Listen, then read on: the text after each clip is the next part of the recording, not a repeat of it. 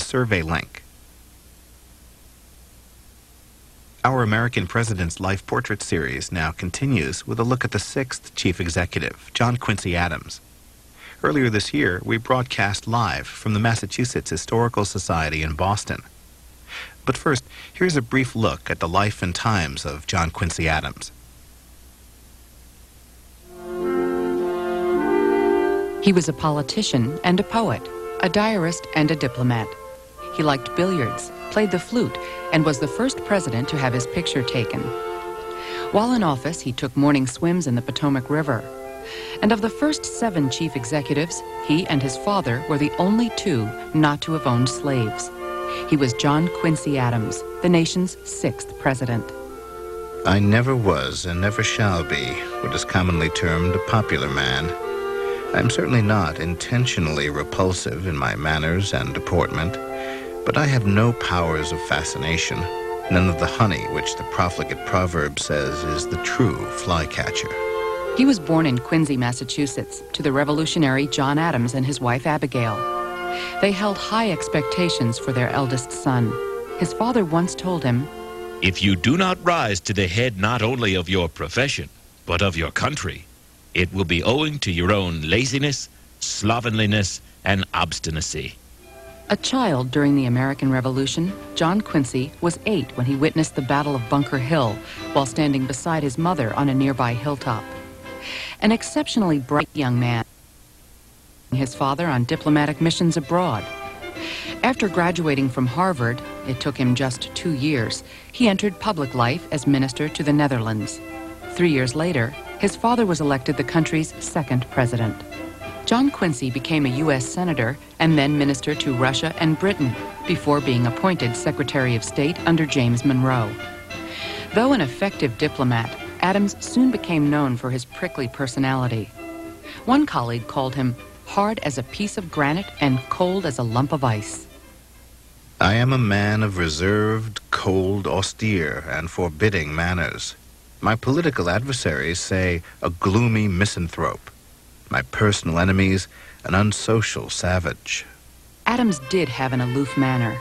At dinner parties, he seldom bothered with small talk. Nor was he interested in clothes. Some say he wore the same hat for 10 years. But he was fastidious about writing regularly, and from age 29 to 49, recorded something in his diary every single day. He even published a small volume of his own poetry. Adams ran for president in 1824 and won, but only technically. Andrew Jackson received more popular and electoral votes, but because no candidate in the four-man election had secured a majority, the decision was thrown to the House, which selected Adams. Jackson's supporters were furious, and those in Congress proceeded to thwart several of Adams' proposals as president. Adams also endured rocky relations with his vice president, John Calhoun, who went on to serve under Jackson. Of his presidential years, Adams wrote, I can scarcely conceive a more harassing, wearying, teasing condition of existence. Adams' first lady was Louisa Johnson Adams. Born in London, she remains the only first lady born outside the United States. Louisa read Greek, wrote French poetry, and played the harp. But she remained intimidated by the formidable family into which she had married. As regards women, the Adams family are one and all peculiarly harsh and severe in their characters. There seems to exist no sympathy, no tenderness for the weakness of the sex. Louisa called her memoirs Adventures of a Nobody. Adams served in Washington for one presidential term from 1825 to 1828, losing his second bid for office to his archenemy, Jackson. Dejected, Adams, like his father before him, skipped his successor's inaugural and returned home to Massachusetts. A year later, however, he was on his way back to Washington after his election to the U.S. House of Representatives. He served there for 17 years, earning the nickname Old Man Eloquent. During this time, he was instrumental in establishing the Smithsonian Institution, as well as in winning freedom for a group of slaves captured aboard the Spanish ship Amistad. Adams was in the House chamber on February 23, 1848, when, Just after voting against a proposal to decorate Mexican war generals, he suffered a massive stroke. Five doctors attended him, four of them members of the House. Lying on a sofa in the speaker's room, he uttered his last words. This is the end of Earth. I am content. He fell into a coma and died two days later. He was 80.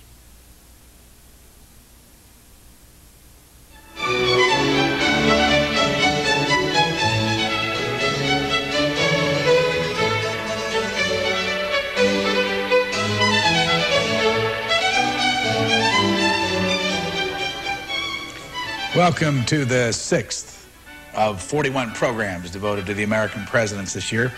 You're looking at the Massachusetts Historical Society here in Boston, which houses the papers of the second president of the United States, John Adams, and his wife Abigail, as well as the papers of their son, the sixth president of the United States, John Quincy Adams, and those of his wife, Louisa Catherine Adams. The Massachusetts Historical Society is located right in the city of Boston, near Fenway Park, on Boylston.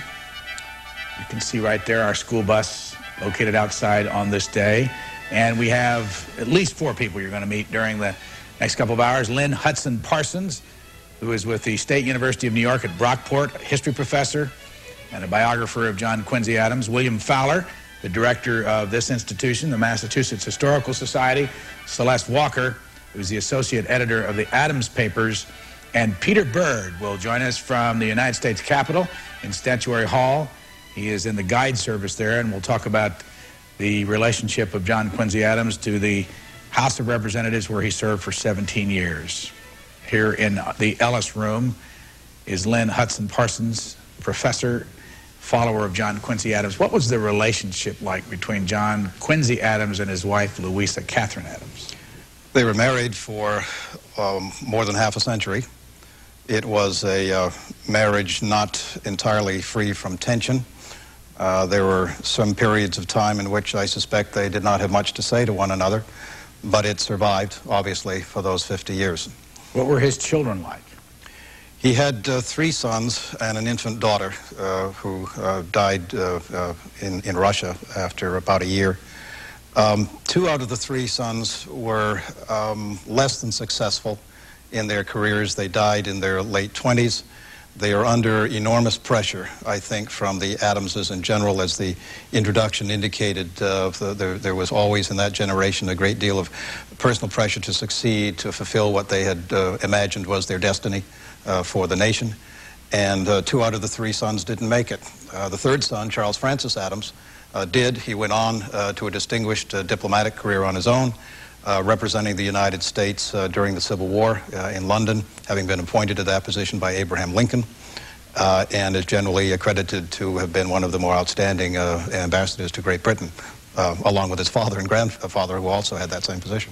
As we have during this series, we want you to join us by telephone. The numbers are going to be popped up there on the screen, and you'll be able to uh, join us very, very soon. That's 202-624-1111 if you live in the Eastern and Central time zone, 202-624-1115 if you live in the Mountain and Pacific time zones. Uh, Professor Parsons, how long have you followed John Quincy Adams? Oh, about a quarter of a century. Uh, my original doctoral dissertation did not deal directly with the Adamses. It uh, dealt more with Alexander Hamilton and his uh, posthumous uh, reputation, what historians and politicians did to his, uh, his reputation, uh, why he's on the $10 bill, why there's no Hamilton Memorial in Washington to match the Jefferson Memorial, and so on. But I, I gradually realized that a good deal of the, uh, the image that people have today of Hamilton was influenced by the Adamses, who didn't like him very much.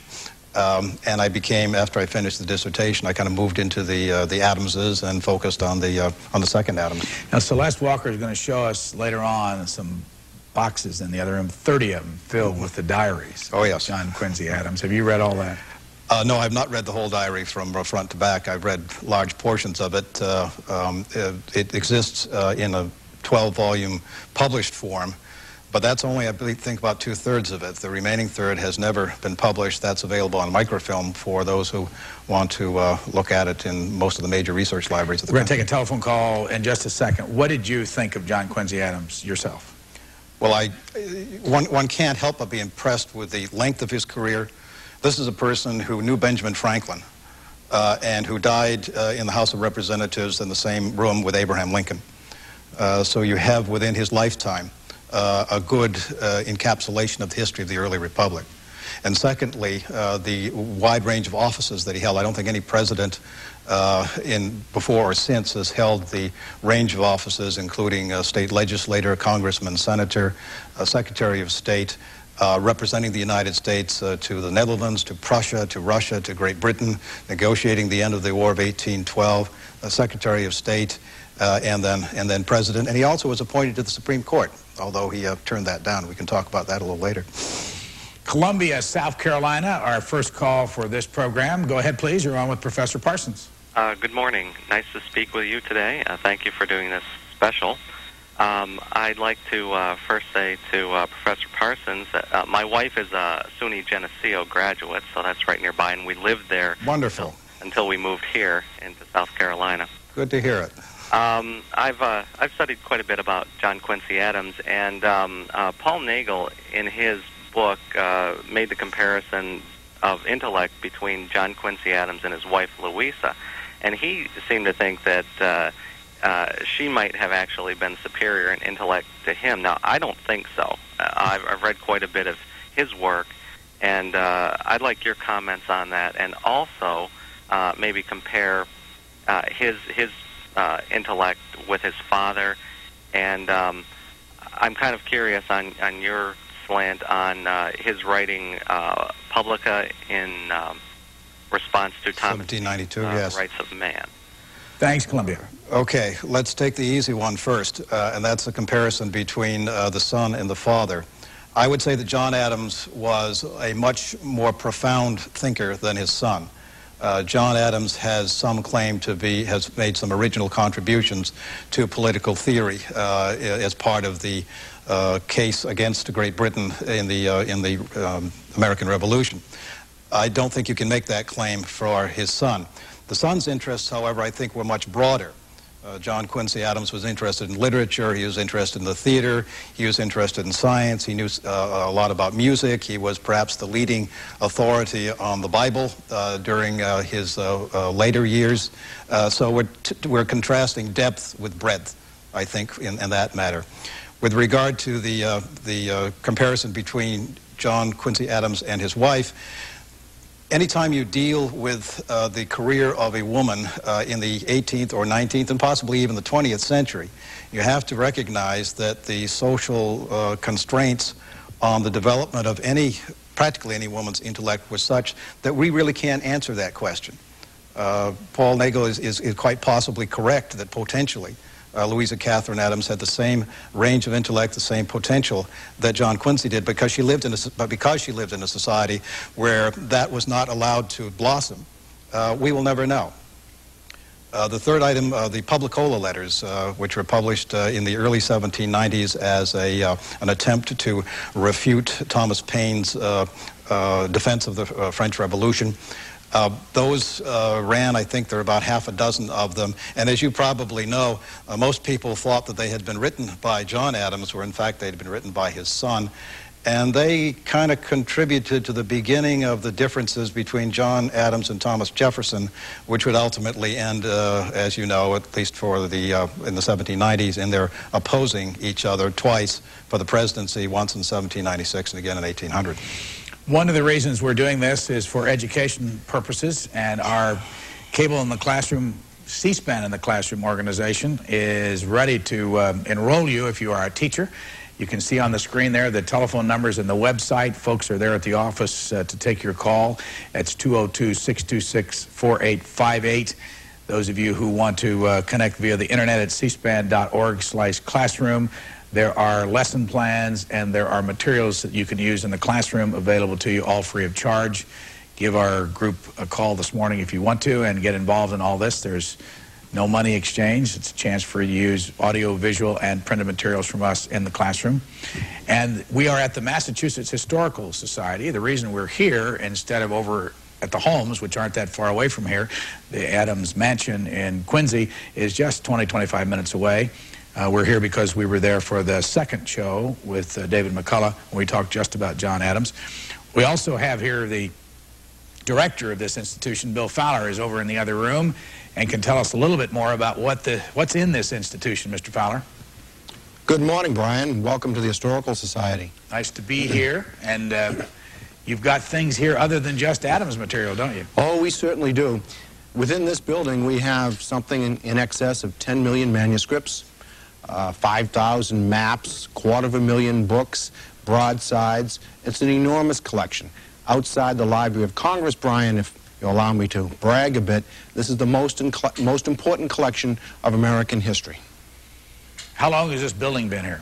This building has been here exactly 100 years this month.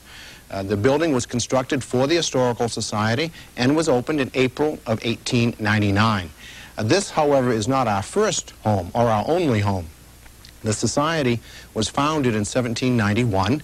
We are the oldest historical society in the United States, and in fact, we are the oldest historical society in the world devoted to collecting American manuscripts.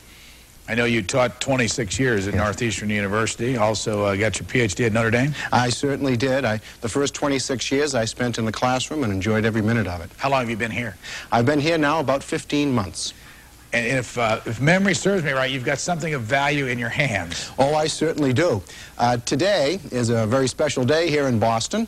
It is the 18th of April. Uh, some of you, some of your viewers will certainly remember the poem, uh, Listen, My Children, and You Shall Hear, The Midnight Ride of Paul Revere, was the 18th of April in 75, when hardly a man is now alive. So today is the 224th anniversary of Paul Revere's ride. Our founders in, 17, in the 1790s, and in particular a man named Jeremy Belknap, was very concerned to collect the materials of American history. These were men who had lived through the creation of the American Republic. And so Belknap went about like a prowling wolf collecting manuscripts and material. Of course, in the 1790s, Paul Revere was still very much an important citizen of this town.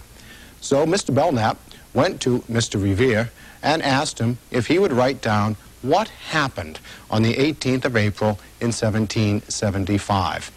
Mr. Revere responded, and the document that you now see on the screen is, in fact, in Mr. Revere's own hand.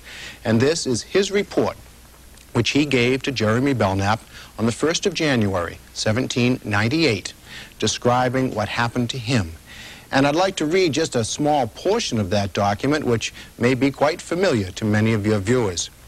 Mr. Revere describes how he had just returned from a ride to Lexington. This was a ride prior to the 18th of April. And he describes what happened when he came back. And here's how he reported it to Jeremy Belknap. I returned at night through Charlestown. There I agreed with Colonel Conant and some other gentlemen that if the British went out by water, we would show two lanterns in the North Church steeple, and if by land, one, as a signal. For we were apprehensive it would be difficult to cross the Charles River or get over Boston Neck. And of course, indeed, on the evening of the 18th of April, at Old North Church, one if by land, two if by sea. This, by the way, is the report that Henry Wadsworth Longfellow had an opportunity to see, and this is the report upon which he based his epic poem in, that he wrote in 1863. Bill Fowler, let me ask you a couple of quick questions, and then we're going to let you go and bring you back later. But the Massachusetts Historical Society is underwritten by whom? The Society is a private society, Brian, and we're supported by the generosity of our members, and we're also supported by various foundations and granting agencies. We've been generously supported by the National Endowment for the Humanities, as well as the National Historic Records Publication Commission. How much of a budget do you have every year? We have an annual budget of about $2 million. We have a full-time staff of approximately 26 people. People allowed to visit? Oh, not only allowed, encouraged. In fact, it's hard to imagine that any serious student of American history would not have to come here at some point in their work in order to consult our materials. we, are, we are free and open to the public. So it does not cost anything to belong? No, we do not charge for uh, using our materials. Thanks for joining us, Would, uh, Bill Fowler. We really appreciate your hospitality. And we have a call waiting in Saratoga, Wyoming. Go ahead, please. Good morning, Brian. As a longtime resident of Boston and a proud graduate of Boston University, I'm glad to see your your clips from uh, Boston this morning, and I have two questions about John Quincy Adams. First, if I could, I'd like to thank you for getting me a wife indirectly. When I moved to a remote area of the country and didn't have C-SPAN, I asked a couple people I knew to help me with petitions to get on the local cable company, and one of the women came back so quickly with her petition filled. I asked her how she did it. She said she went to the branch office of the bank. First, she asked the branch manager to sign it, then everybody else signed it, and as a consequence, we were able to get on our get C-SPAN on our cable. So I was glad for that. Thanks. My, my two questions this morning. The first is, what is exactly the pronunciation of John Quincy Adams' name? I always understood that it was Quincy. And oh my- boy, it would. I, I think it would depend on what century you're living in. I always understood you pronounced the uh, the C in Quincy is more like a Z, as in Quincy. John and Adams, I assume you is not a problem, but, but my understanding, you, you it's a, a Z instead of a C. What's your second question, caller? And my second question, my wife says to ask you, are you going to cover in your wonderful presidential series, are you going to cover the forgotten president? And And she says his name is Jefferson Davis. Thanks for C-SPAN. Thank you. Jefferson Davis, of course, is buried in the same cemetery with John Monroe and John Tyler. And at some point along the way, we will be talking about Jefferson Davis. On the telephone is Reverend Sheldon Bennett, who's the pastor of the First Parish Church over in Quincy, Massachusetts, where the two presidents named Adams are buried. Good morning, uh, Reverend Bennett. Are you there? Yes, I am. Good morning, Brian. I know you're busy and you've got to preach this morning, and we appreciate your time for these few minutes. Tell us why you have closed the crypt below your church there where people used to visit the two presidents Well, and their two not- wives. It's not something that we wanted to do. Um, for many years, we had run a, uh, a volunteer program, um, uh, but it became increasingly difficult to find someone to manage that on a volunteer basis full time.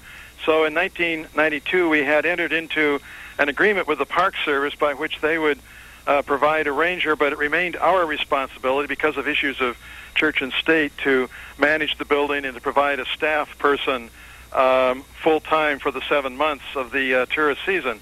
Um, to help us with that, the mayor of the city had pledged his support to raise, you know, private contributions and corporate sponsorships uh, to help us with our additional uh, costs, so it wouldn't be a burden to the church. But that became increasingly uh, difficult in recent years. We began running um, a fairly large deficit for us, and we just weren't able financially to continue it until we're uh, able to uh, obtain uh, sufficient funding. So we were just uh, much much against our wishes. We just find ourselves in a position of not being able to um, you know to bear the costs uh, at the present time.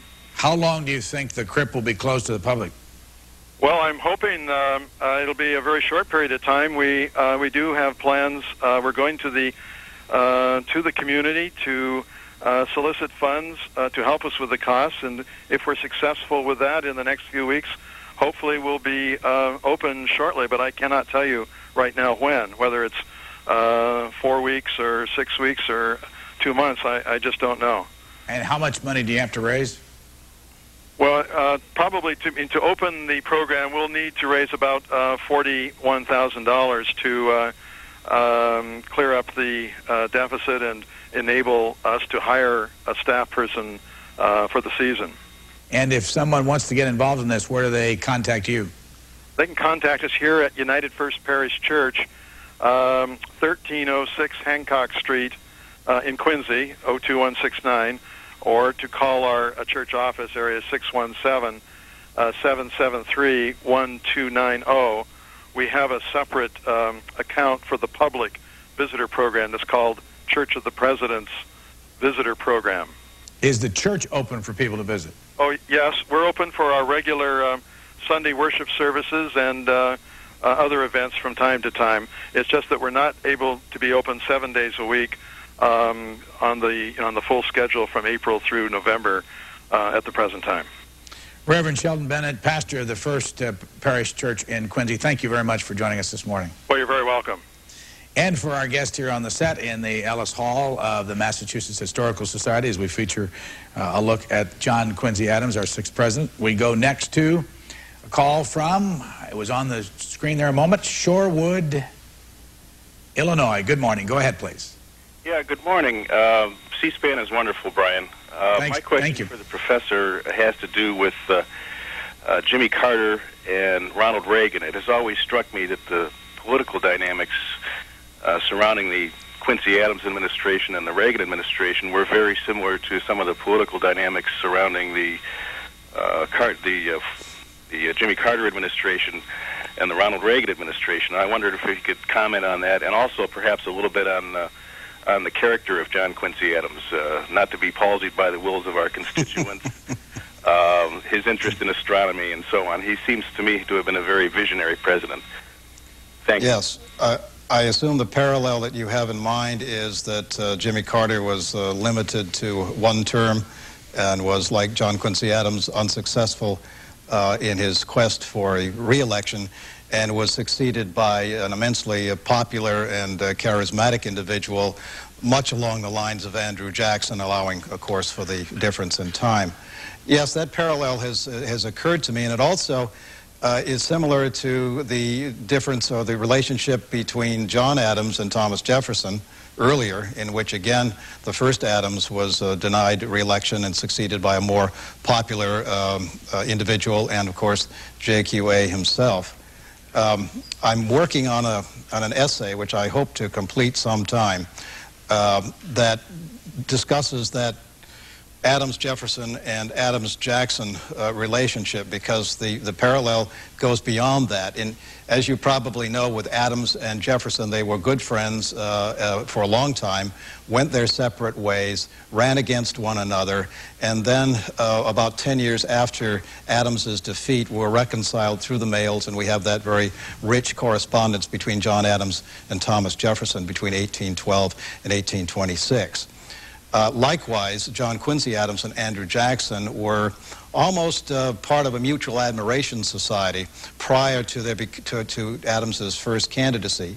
In fact, at one point, John Quincy Adams was the only member of President Monroe's cabinet to support Andrew Jackson's somewhat uh, aggressive uh, attack on Florida, in which he invaded a Spanish fort, executed a number of Indians, and hanged two Englishmen uh, something of an international uh, scandal was about to break out. But John Quincy Adams was one of the few people that defended Jackson, rightly or wrongly, for what he had done. Then, when they became rivals, uh, they went their separate ways, just as the father had with Thomas Jefferson. But there the parallel stops because you will recall that John Quincy Adams came back to Congress uh, and spent the rest of his career more or less in opposition to the Jacksonian Democrats, and the relationship between the two deteriorated rapidly uh, and was not friendly at all uh, toward the end. He was in the United States Senate for how long? Uh, Congress, uh, the House of Representatives. No, Senate. Uh, Adams was in the Senate from 1804 to 18, no, 1803 to 1807. Just And who years. put him there? He was elected by the Massachusetts legislature, uh, as senators were in those days. He was the president for how long? He was president for four years, And he was in the House of Representatives for how uh, long? 14 years. Let's go to Albuquerque, New Mexico next. Go ahead, please. You're on with Len Parsons. Yes, good morning. Um, in the movie Amistad, uh, the attorneys for the slaves sought the counsel of John Quincy Adams. Could you comment on that, if that was historically accurate, and exactly what role that John Quincy Adams played in that incident? Thank you very Right, much. a, a- mild correction that they were not slaves. Uh, if they were slaves, there would have been no case. Uh, they were Africans who the courts determined had been kidnapped and therefore were returned to Africa.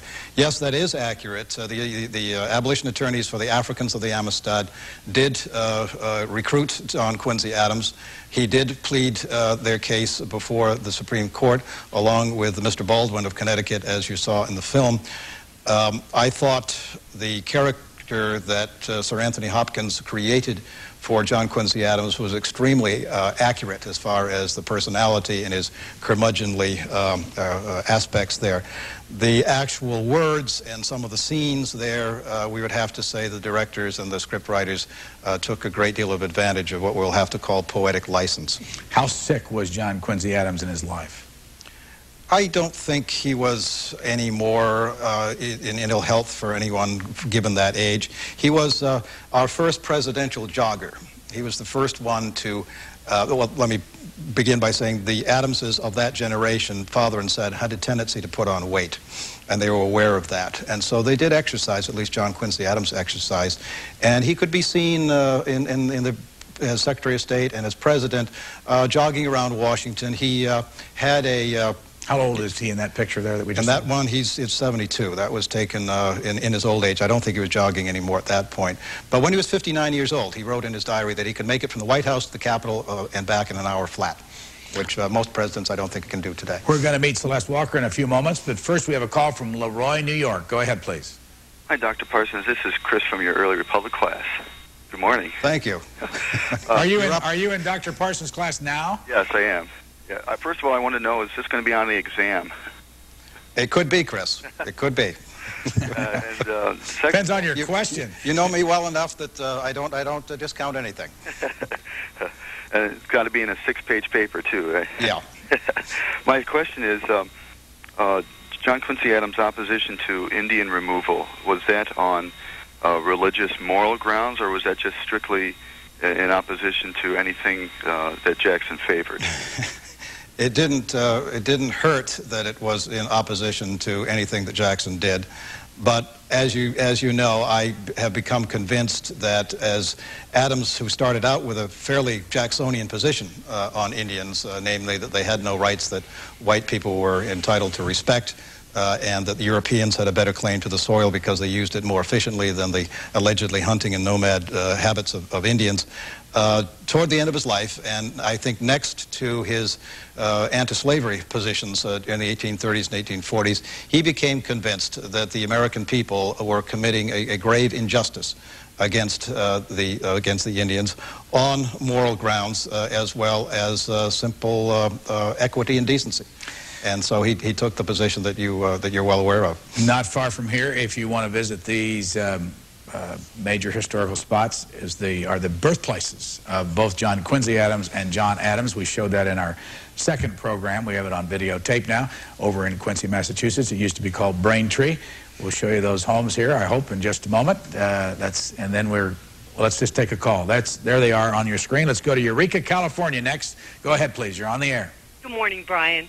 Thank you for this series. I really appreciate it.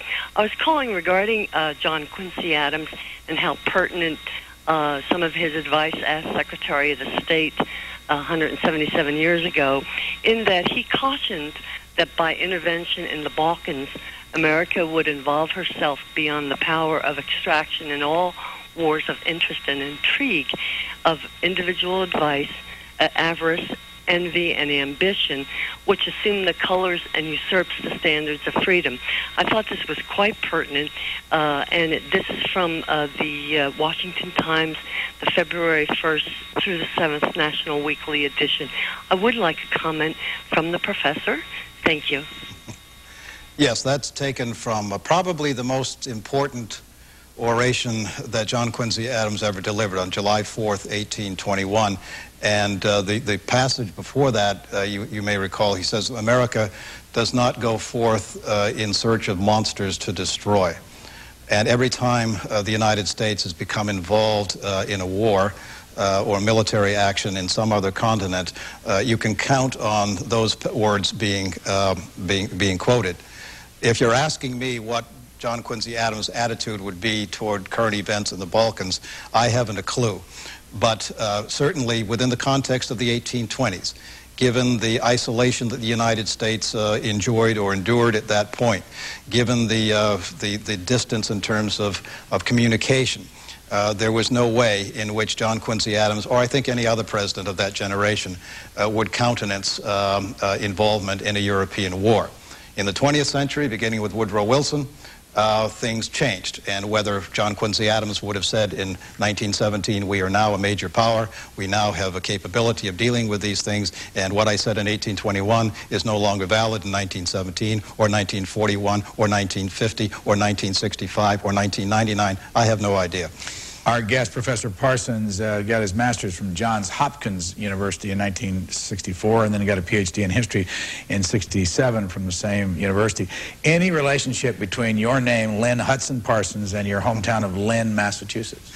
No, I was named after my grandfather, uh, uh, who was, in fact, uh, active in public affairs for a long time, uh, many years ago, and the interest that I have in public affairs, I, I sometimes subscribe to him. But that, uh, I don't think they named the town after him either. I, I think that's a coincidence. Any relationship between your wife, Ann Hruska Parsons, and Roman Hruska, the former senator from Nebraska? Yes, uh, she is uh, his uh, niece.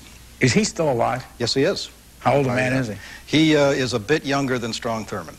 Uh, we had 93, we had, we, yeah, we had lunch a couple, three years ago. Uh, we, we come from a different political persuasion, but he's always been very kind. Uh, Where does he live? He lives in Omaha, in Nebraska. Covington, Louisiana, for our guest. Go ahead, please. Yes, um, in reference to John Quincy Adams and also Andrew Jackson, that time period, uh, for me being in Louisiana and of course the Battle of New Orleans in 1814, uh, there's still a running debate for, for a lot of us down here historically as to whether or not if the British would have defeated uh, the U.S. troops in that battle, even though a treaty was signed, uh, would the British continue to take over aggressive action and control the Mississippi, which would control the western developing states, such that we possibly, to this day and time, would be with a British accent as we speak here? But could you just respond to that, and I'll listen to your answer. Thank you with a, with a British accent instead of a Cajun accent. Uh, uh, yes, that, that, that has always been pointed out, and I, it, again, there's no way that can be resolved. Uh, it's often been said that had there been a transatlantic cable back in 1815, uh, uh, with the news of the end of the war being transmitted to the United States overnight, that there would have been no battle and consequently no Andrew Jackson to uh, revere in later generations. But the, the point is, is a valid one, that if the British had won, it's not clear uh, that that treaty that uh, Adams had negotiated would have uh, required them to give up uh, the capture of uh, one of the major American cities at the time. Do you have any idea what he would have, John Quincy Adams would have sounded like?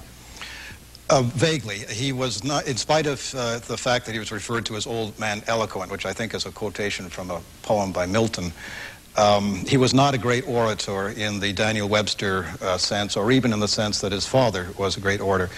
The accounts that I have read suggest that he had a rather uh, high-pitched, uh, occasionally grating voice, particularly if you didn't agree with what he was saying. How tall was he? He was uh, five, uh, seven, five, eight. and how much time did he spend uh, at the Adams house over in Quincy? He spent uh, most of his life there from the time when John Adams died in July 4th, 1826.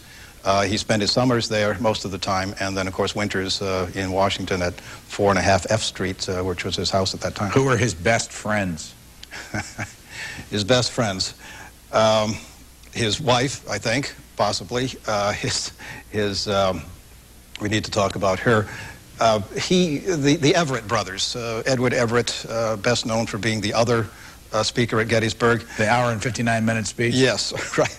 Um, he was very close to uh, Edward and his uh, older brother, uh, Alexander Everett, uh, and the diary indicates uh, considerable uh, conversations and correspondence with them.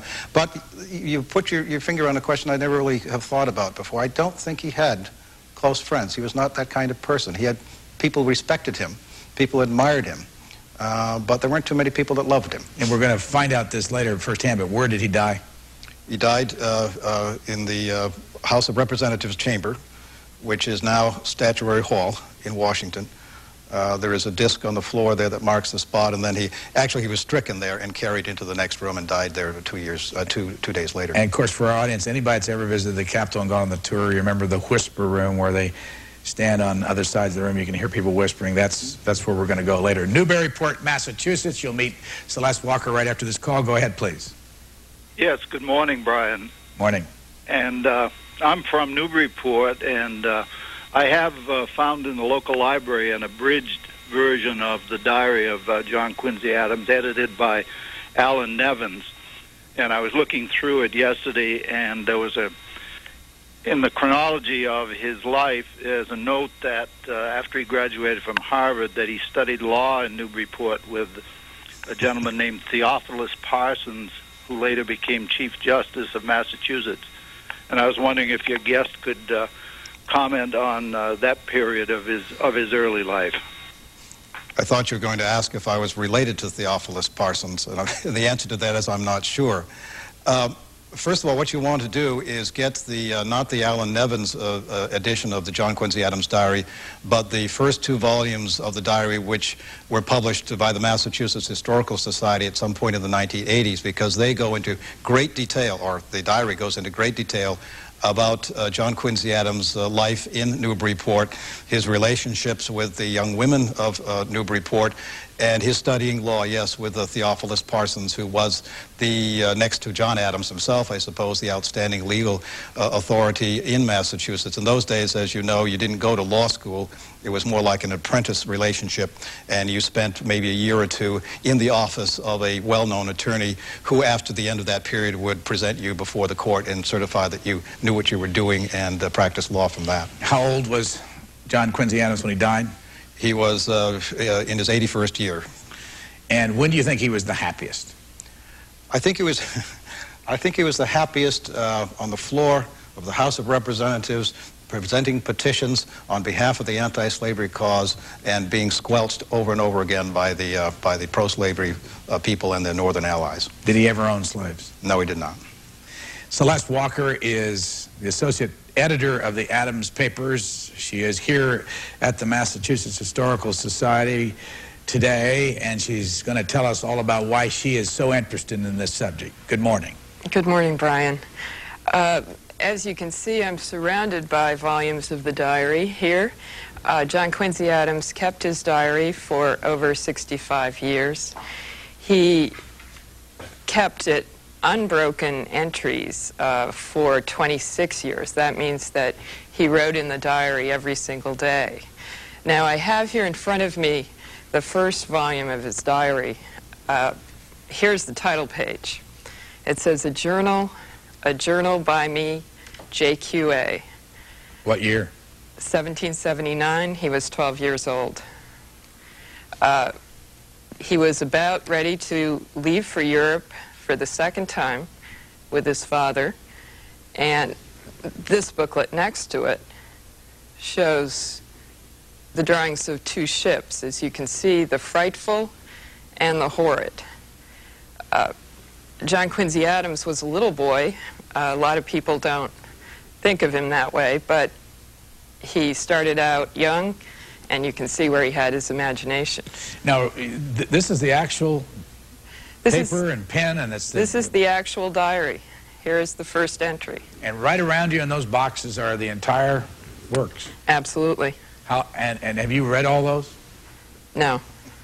How, how much of it have you read? Well, I'm editing right now uh, volumes three and four of the diary, so we're very much into that. Uh, and as uh, Professor Parsons, we dip into the diary as we need to. Could you just open up one of them just to show everybody how they're stored, and and, and we can go back to it later, whatever you want to do. Just sure. Are these? Who makes these boxes, by the way? These boxes were made uh, to hold the diaries. Uh, they were made by the Historical Society. Right here.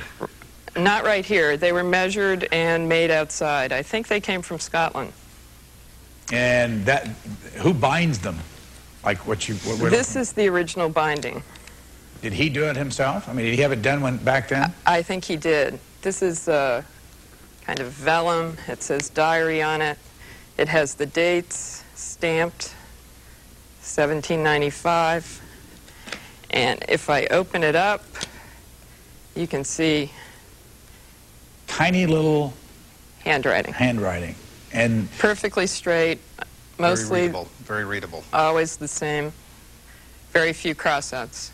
Does the uh, what, what kind of language? What kind of you know? Uh, how, how, well was it written? It was. It, it's very readable. Uh, the character of the diary is very much so that he will discuss personal things, but he does not really discuss what conversation went into making the personal de decisions. And you say he did it every day for at least 26 years? 26 years, not a day missing. And then a total of how many days do you think over his whole life did he write a diary? Uh, well, the diary spans 68 years. I think it's probably in the 50 year, enough entries for 50 to 60 years. Stay there, uh, obviously. We'll come right back. We got okay. a call waiting in Inkster, Michigan. Go ahead, please. You're on the air. Hello, Inkster. Good morning, all. How are you doing today? Good. Thanks for joining us. Oh, thank you. Uh, I had a quick question concerning uh, uh, John Quincy Adams' uh, religious beliefs and those of his peers. I'm told that the Unitarian Church and the Freemasons had quite a uh, influence over the early period of our country. Thanks for the call. Professor The, uh, Parsons? John Quincy Adams did not join a church uh, until after his father's death in 1826 when he joined the uh, First Parish Church in Quincy that we just uh, saw the film clips of it, which was at the time and still is a Unitarian church. And therefore, he is one of the half dozen or so presidents that the Unitarians uh, will claim. But that did not mean that he was indifferent to religion because his diary, uh, as Celeste could, could tell you, uh, contains uh, almost every Sunday uh, the record of the church service that he attended. Sometimes he attended two, and an analysis of the sermon, whether he agreed with it or not, or so on. Uh, so he was very much uh, interested in religion. Uh, he uh, became uh, in, his, in, the, in his latter years, in, the, in, the, in his 70s, he was president for a long time of the American Bible Society. He was perhaps uh, the most learned of all our presidents uh, on the Bible and its teachings and its various interpretations. I would have to describe him as a something of a conservative Unitarian because he uh, he took the Bible quite seriously. He didn't uh, treat it as a, a fundament as a fundamentalist would, but he was inspired by it. He was familiar with it. Um, he accepted the uh, probability of the divinity of Jesus. He believed in an afterlife. These are things that Unitarians today probably would have some reservations about. Scaffolding you see on the screen from the church is uh, where the church is under repair. And you saw Pew 54. Was that the pew, do I remember the number correct, that uh, John Adams used to sit in? That, The- that's the my father? understanding, yes. Walnut Creek, California. You're next. Go ahead, please. Thank you. I'm enjoying the show. I'm proud to say I grew up in Quincy, Massachusetts, and I did my high school study be- on the friendship between John Adams and Jefferson, and and actually evolved my lifelong stance that life is long because they did mend their differences, and I think they both died on the same day. Yes, they did. The father. Um, but um, does anybody know? I remember it as being Braintree, and we were told uh, babies were brained on those trees, and that's where the name came from. And did they change the name to Quincy because of the Adams family, or which came first? The name, uh, first of all, I don't think that's the accurate the origin of the term. I think it comes from a, a town in, in, uh, in uh, London, oh, I'm sorry, in England, with that same name. It was changed, uh, uh, actually, Braintree is still there. It's the North Parish of Braintree that was changed to Quincy, probably in recognition of uh, the first John Quincy, who was John Quincy Adams' grandfather, and the long role that he had played. Well, the Quincy family in generally, in general, uh, played in the uh, in Massachusetts affairs. Uh, so it was just kind of a legal change from that North Parish that became now the town of Quincy, as opposed to Braintree, which uh, remained that way for the rest of the uh, rest of the area. In the other room uh, from where we are in Ellis Hall is uh, Celeste Walker, who is pure Massachusetts. She was born in Marlborough, Massachusetts. She uh, went to school at Newton, Massachusetts, the um, Newton College of the Sacred Heart. And um, I asked you earlier, and we didn't get to it, but how did you start? Wh- When did you first get interested in, in being an editor of the Adams papers?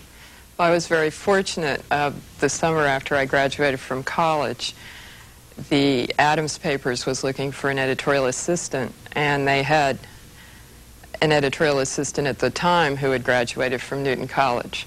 So I heard about the opening, and I came in, and I was fortunate enough to get the job and start working with Lyman Butterfield, who was the first editor-in-chief of the Adams Papers. Now, if someone comes to the library here, and we learned from uh, Bill Fowler earlier that you can come here, it doesn't cost you any money, you can use this place. Can you put your hands on those diaries that are behind you?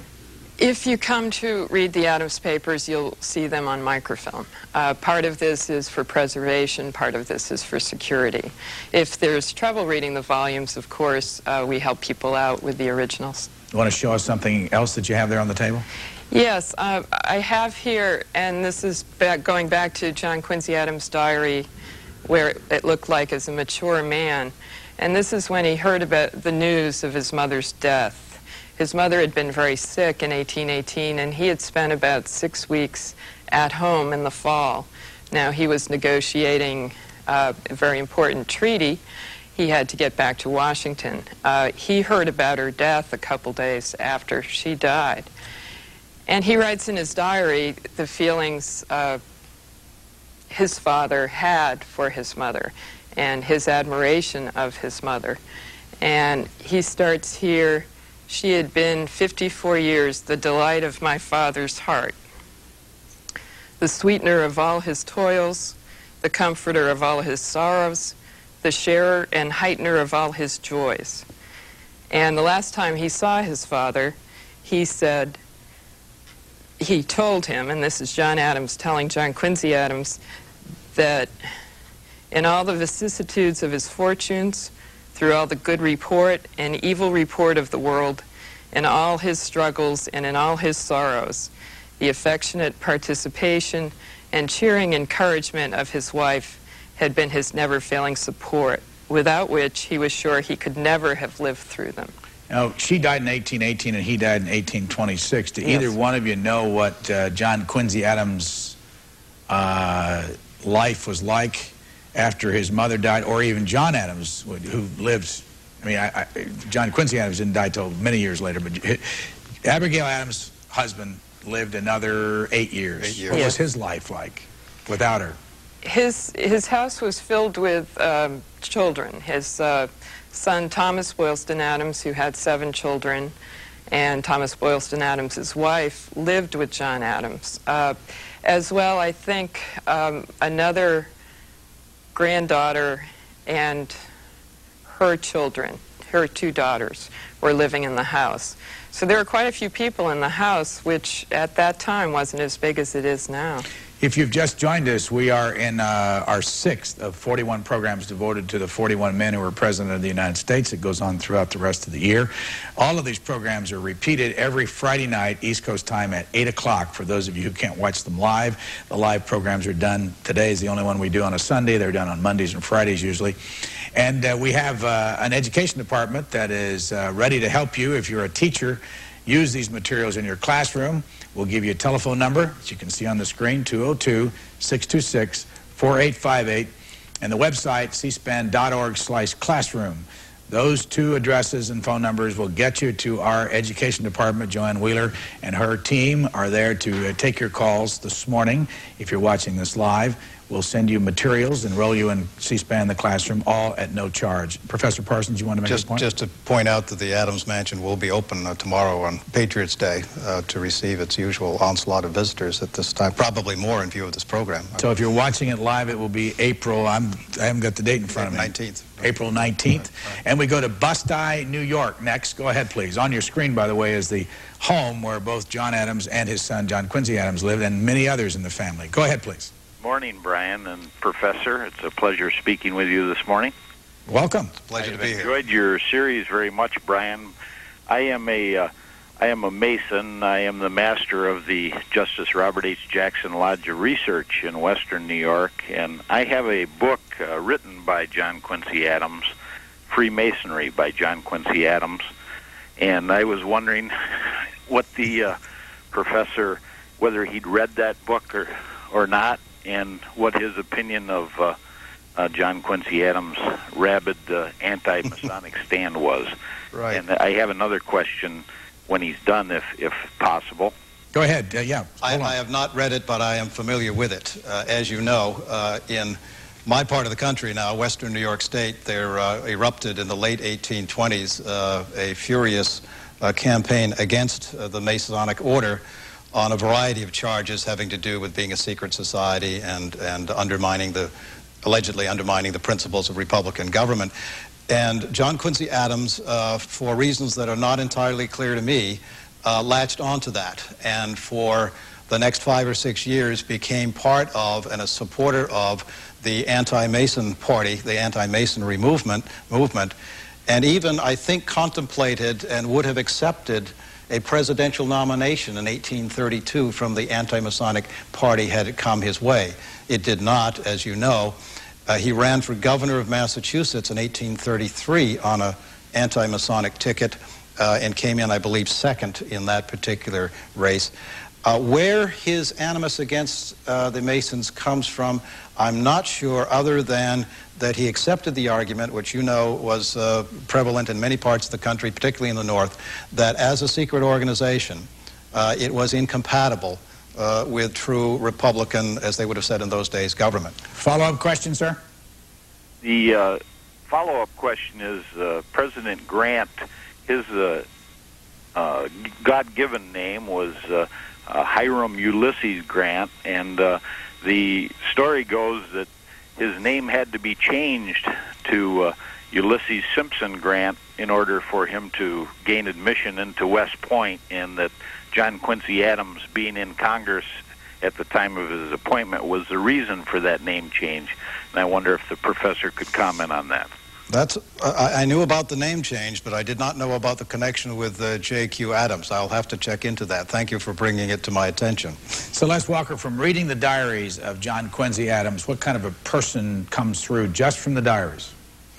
Just from the diaries. I think what you see from the diaries is how much he was alone, how much he wasn't at home. He left home um, first time at the age of nine. He was in Europe, went back at age 12. He spent a lot of time without his mother, his sister. Uh, when his family reunited in France, he was came back here to go to school. And then, as they were talking before, he was in Newburyport.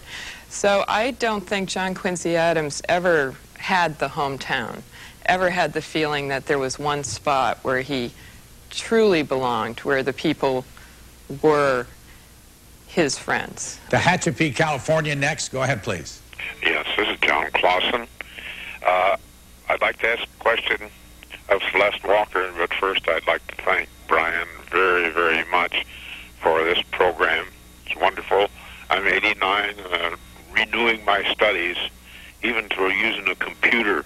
Uh, but I wanted to ask Celeste Walker if uh, she has a record in his, uh, if he recorded his feeling while he was president, he knew there was going to be a civil war. He was very certain. And when did he express himself that? I know afterwards, in the 11 years in the House of Representatives, he never quit. 11 years in the House of Representatives, he never quit talking about abolition. My interest is because I'm a direct descendant of John Brown, the abolitionist. And many of the family are buried here in Pasadena, and uh, my uncle is buried up on the side of Brown Mountain above the Jet Propulsion Laboratory, in case people don't know that generally. Where, where you, John Brown is buried there? No. Or, no, your, your, uncle is. Owen Where's Brown, John? My great uncle Owen Brown. He was Where in Harper's Ferry, Virginia, uh, there when uh, during the problems with uh, the raid on Harper's Ferry. And Thanks for calling. Okay, thanks. We're going to uh, let Celeste Walker answer that. Go ahead, please. I think what you see in the diary is he does know that, well, he fears there may be a civil war. He doesn't think the country, and here's someone who was living before the country was really founded, he doesn't think that the country can withstand something like this. And so this is the problem. How do you find a solution to slavery without splitting the country apart? So I think it was probably, even though he may have thought it was inevitable, it was his hope that something could happen so this would not happen. We're going to meet Peter Bird in just a second, who is in the United States Capitol, and we'll talk to him about Statuary Hall, where the House of Representatives used to meet. Uh, Professor Parsons? Comment on the last question. Um, at the time of the Missouri debates in 1820 and 1821, uh, this was when he was Secretary of State, uh, John Quincy Adams followed them very closely. I think he went over to uh, the, the Senate and the House chamber to watch. And he said, uh, when he came back after one of the sessions, he said, this is the title page to a tragic volume. So he sensed that there was, this could have no happy outcome even, even before he became president. Hartford, Connecticut, you're next. Good morning, Brian, and thank you for C-SPAN. I'm sorry I have laryngitis this morning.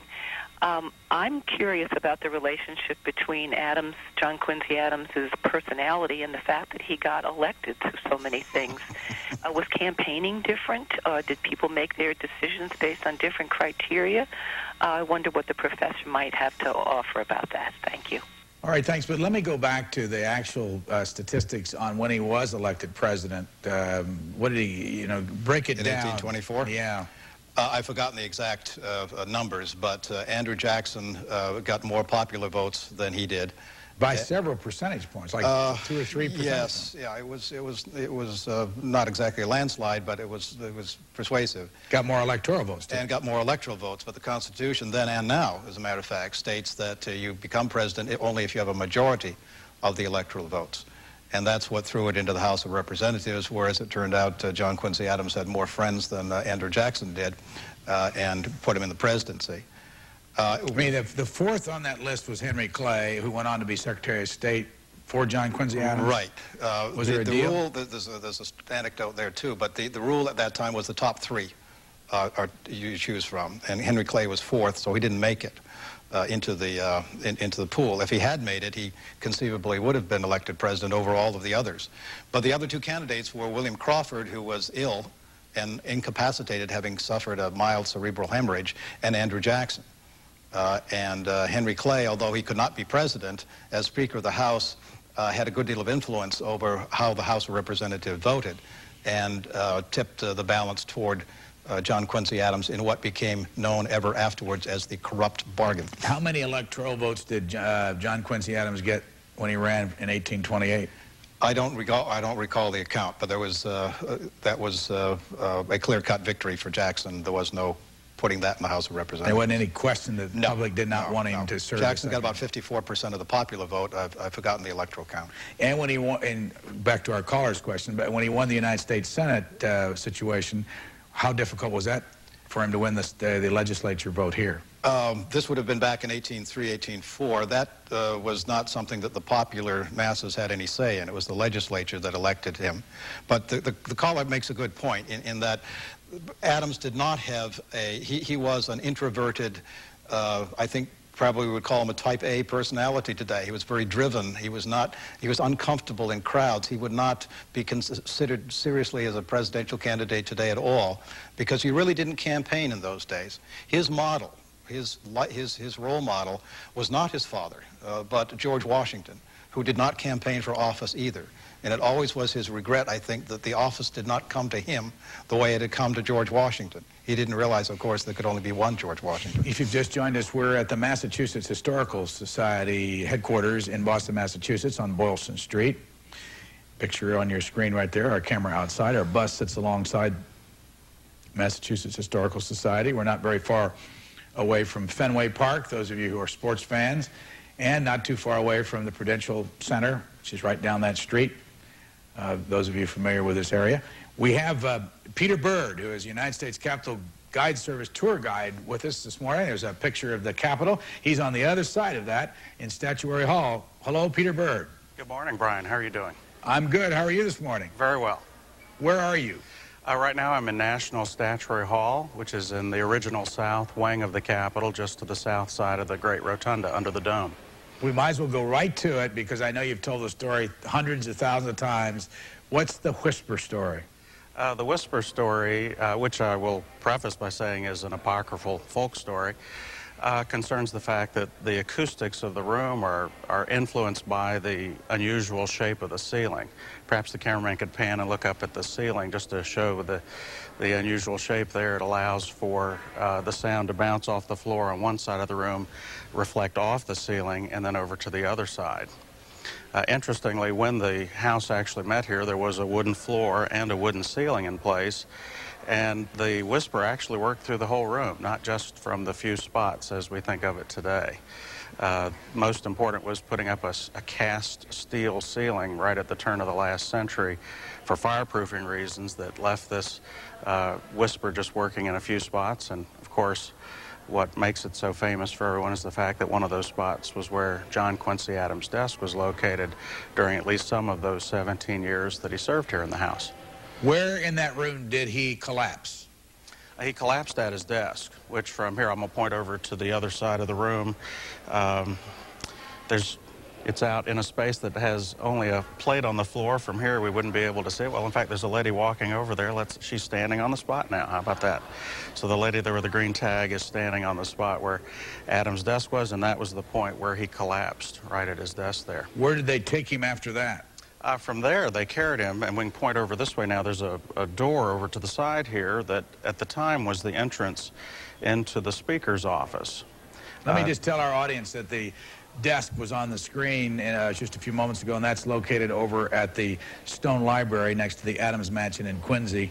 And on our screen right now is near the door where he was taken. Go ahead with your story. I'm sorry, uh, Mr. Burke. No, that's fine. Uh, the uh, uh, the door there again goes right in, into a little hallway that goes back to, to where the speaker's formal space was, and there was a couch in there. Adams was placed on the couch and uh, died two days later. The, interestingly, the, the his uh, stroke was on the day before Washington's birthday on February 21st, and he was in his coma throughout uh, Washington's birthday and then died on the, the 23rd. The entire time he served in the House was how many years? 17, 1831 to 1848. How much of it was in that room? Oh, that was the entire time here. What was Congress like then? I, I, could you be more specific? What was con- what? Well, in that era, what kind of an atmosphere was it compared to what we see today? How big was it? How many members Hmm, I were see, there? I see. Uh, well, compared to today, significantly less. Uh, until early in the 20th century, after each census, as the, the population increased, they simply increased the number of members for the House of Representatives. When people come on a tour today, there, how many of them know anything about Qu- John Quincy Adams? The thing that we find that people know about him, interestingly, is that they're, they're expecting to, to play with the whisper spot that we were just talking about. Um, most people know that he was the sixth president of the United States. Um, most people know his father, John Adams, had been president as well. I, I don't find that too many folks really know the details of his time as a member of the House. Uh, until the Amistad movie came out the other year, people were totally unfamiliar with, with his work arguing that case. Uh, and in terms of his time in the Senate or as an ambassador, that, that's pretty unknown as well. Stay where you are just a moment, if you would. I need to take a call here from San Diego, California, joining us this morning. Go ahead, please. You know, it's interesting that I had met somebody out here there that uh, was had been married to one of John Adams' great great great grandsons, and he had been killed in World War World War II. And I was wondering if your uh, author had any contact with any of uh, that line or that uh, relative. Let me start with Celeste Walker to ask her if uh, many of the relatives come by here at the Massachusetts Historical Society. Well, actually, we get quite a few inquiries um, for genea- genealogy. The first Henry Adams that came to this country had seven sons. And so John Adams and John Quincy Adams are descended from this Henry Adams. So there are many cousins, many collateral relatives, and the Adams family themselves in the presidential line is quite large. Peter Bird, do you ever meet any ancestors? It's interesting because over the years I have met a number of folks who are related to folks either in the statuary in the building or famous members of the House or Senate, but I can't think of anyone off the cuff related to Adams. How did you get into this business, by the way, of being a tour guide there at uh, the Capitol? Well, I, I studied history at University of North Carolina, um, so I, I grew up in a historically minded family. I had, uh, gosh, I had seven ancestors who came on the Mayflower. One of my uh, fifth great grandfathers died at the Battle of Saratoga in the Revolution. Someday I'll be buried 150 yards from two of the signers of the Declaration of Independence in our family plot. So history was in the family. And uh, after college, I always thought it'd be fun to be a tour guide, and, and it gives me a chance to teach people, to do research, to, to be in the big league, so to speak, where so much of the history has happened. I have the best classroom in the world for teaching visitors. Peter Bird, thank you very much for joining us this morning. Professor Parsons, you were going to say something about the A word the about the uh, the death of uh, John Quincy Adams uh, in, in 1848. After the ceremonies which were held in the Capitol, uh, his body was taken back uh, to Quincy by train, uh, stopping at uh, most of the major cities along the East Coast. Uh, Baltimore, Philadelphia, New York, Springfield, Boston, and so forth. And that was the first time that that had ever been done. Uh, it was also what I've called a, a media event in that it took place in 1848, and by that time, most of the major cities on the, on the East Coast were connected by telegraph. So whereas if that had happened, say, five years before, it would have taken two or three days, maybe a week, for the news to reach Boston. Um, this time, it only took uh, an hour or so for the whole East Coast to know that John Quincy Adams had passed on, and that meant it was possible to organize um, a, a, funeral procession uh, by rail uh, all the way from Washington to Boston. That's the first time that that, that, had, uh, that, that had ever uh, happened. Our next live telecast of a president will be stop number seven with Andrew Jackson at the Hermitage right outside of Nashville. It's about 12 miles outside the, the, uh, the city, and it's be on April the 26th at 9 a.m. when we do it live. Of course, it's repeated every Friday night. Houston, Texas, our next call. Go ahead, please. You're on the air. All right. Um, which um, which president was Tyler. Was he the first, second, third, fourth, fifth, sixth, seventh, or eighth? Which one? Who, John Tyler? Tyler. Tyler. Um, how old are you? Seven. Seven years old. Do, do we get a prize if we answer it correctly? I think he was the 10th president. Do you know that caller? Houston? What is your name? Alicia. Alicia? Alicia. Why are you watching this this morning? With my mom. And you are you studying the presidents? Yes. Who's your favorite president? Um, Tyler. Why? Because, um, I don't know. That's a good answer. Thank you for joining us. Let's go to Quincy, Massachusetts next. Go ahead, please. Yes, Brian, I have uh, two quick questions for the professor. I live in the section of Quincy called Houghs Neck, and um, John Quincy Adams was the third Commodore of a yacht club, Quincy Yacht Club, from 1880 to 1881 down here. Another question is um, the connection with the Quincy Public Schools. I believe at one time the public school system turned over some minutes of a school committee meeting to the Quincy Historical Society and I believe either uh, John Quincy or his father had something to do with that. Thank you. The John Quincy Adams that was the Commodore of the Yacht Club in the 1880s, of course, uh, I think was uh, a grandson of, uh, of the president, John Quincy Adams. Um, and yes, the, the, uh, the public school system in Quincy, I think, got a strong boost. I think it was from John Adams, not from John Quincy Adams, in the, uh, in, in the dedication and the donation that, that you refer. They they uh, were very strong supporters of public education, as indeed I think were most of the New England culture at that time. And in so doing so, they were quite typical. Celeste Walker, uh, in those diaries, uh, how much of the trips that he took from, what was it, uh, was he 14 years old when he was in Russia? Mm-hmm. How much of that's in the diaries? He, his first trip to Russia was uh, probably not a happy time for him. Uh, he was with Francis Dana, who was trying to uh, established diplomatic relations with between Russia and the United States, and so they were not part of any real circle. Uh, he, it's very funny. Every morning he records in his diary what the temperature was, uh, and then you come to one day and he says, "My thermometer is broken." We don't get the temperature anymore, but it's the same thing. He walks. He talks to a few Americans, uh, but it's it's kind of a boring time for him. Nothing, nothing, like the second time. When, uh, when do you see the diary really getting interesting? I think you get, well, his Harvard years are very interesting as a young man. He has very full entries over about two years. He, at one point, writes a sketch of each one of his classmates and, and talks about them and where they're from and what they like to do and uh, how he thinks they are as a person. Uh, one, in fact, he annotated later saying that he was wrong on one point. By the way, if you've just joined us, right behind Celeste Walker's um, head are the uh, John Quincy Adams diaries in those boxes back there. What else is on the shelf? We always, callers want to know, and if we could, we might look around this entire room at some point so they can see uh, what is the room that uh, you're sitting in. Uh, this room is called the Saltonstall Room. It's uh, next to the room you're in, Ellis Hall. And this is the reading room. Uh, this is the catalog room. If you were coming to the Massachusetts Historical Society, you would start and you would look in the catalogs over here. There are book catalogs, manuscript catalogs, to find what things you wanted to consult while you were here.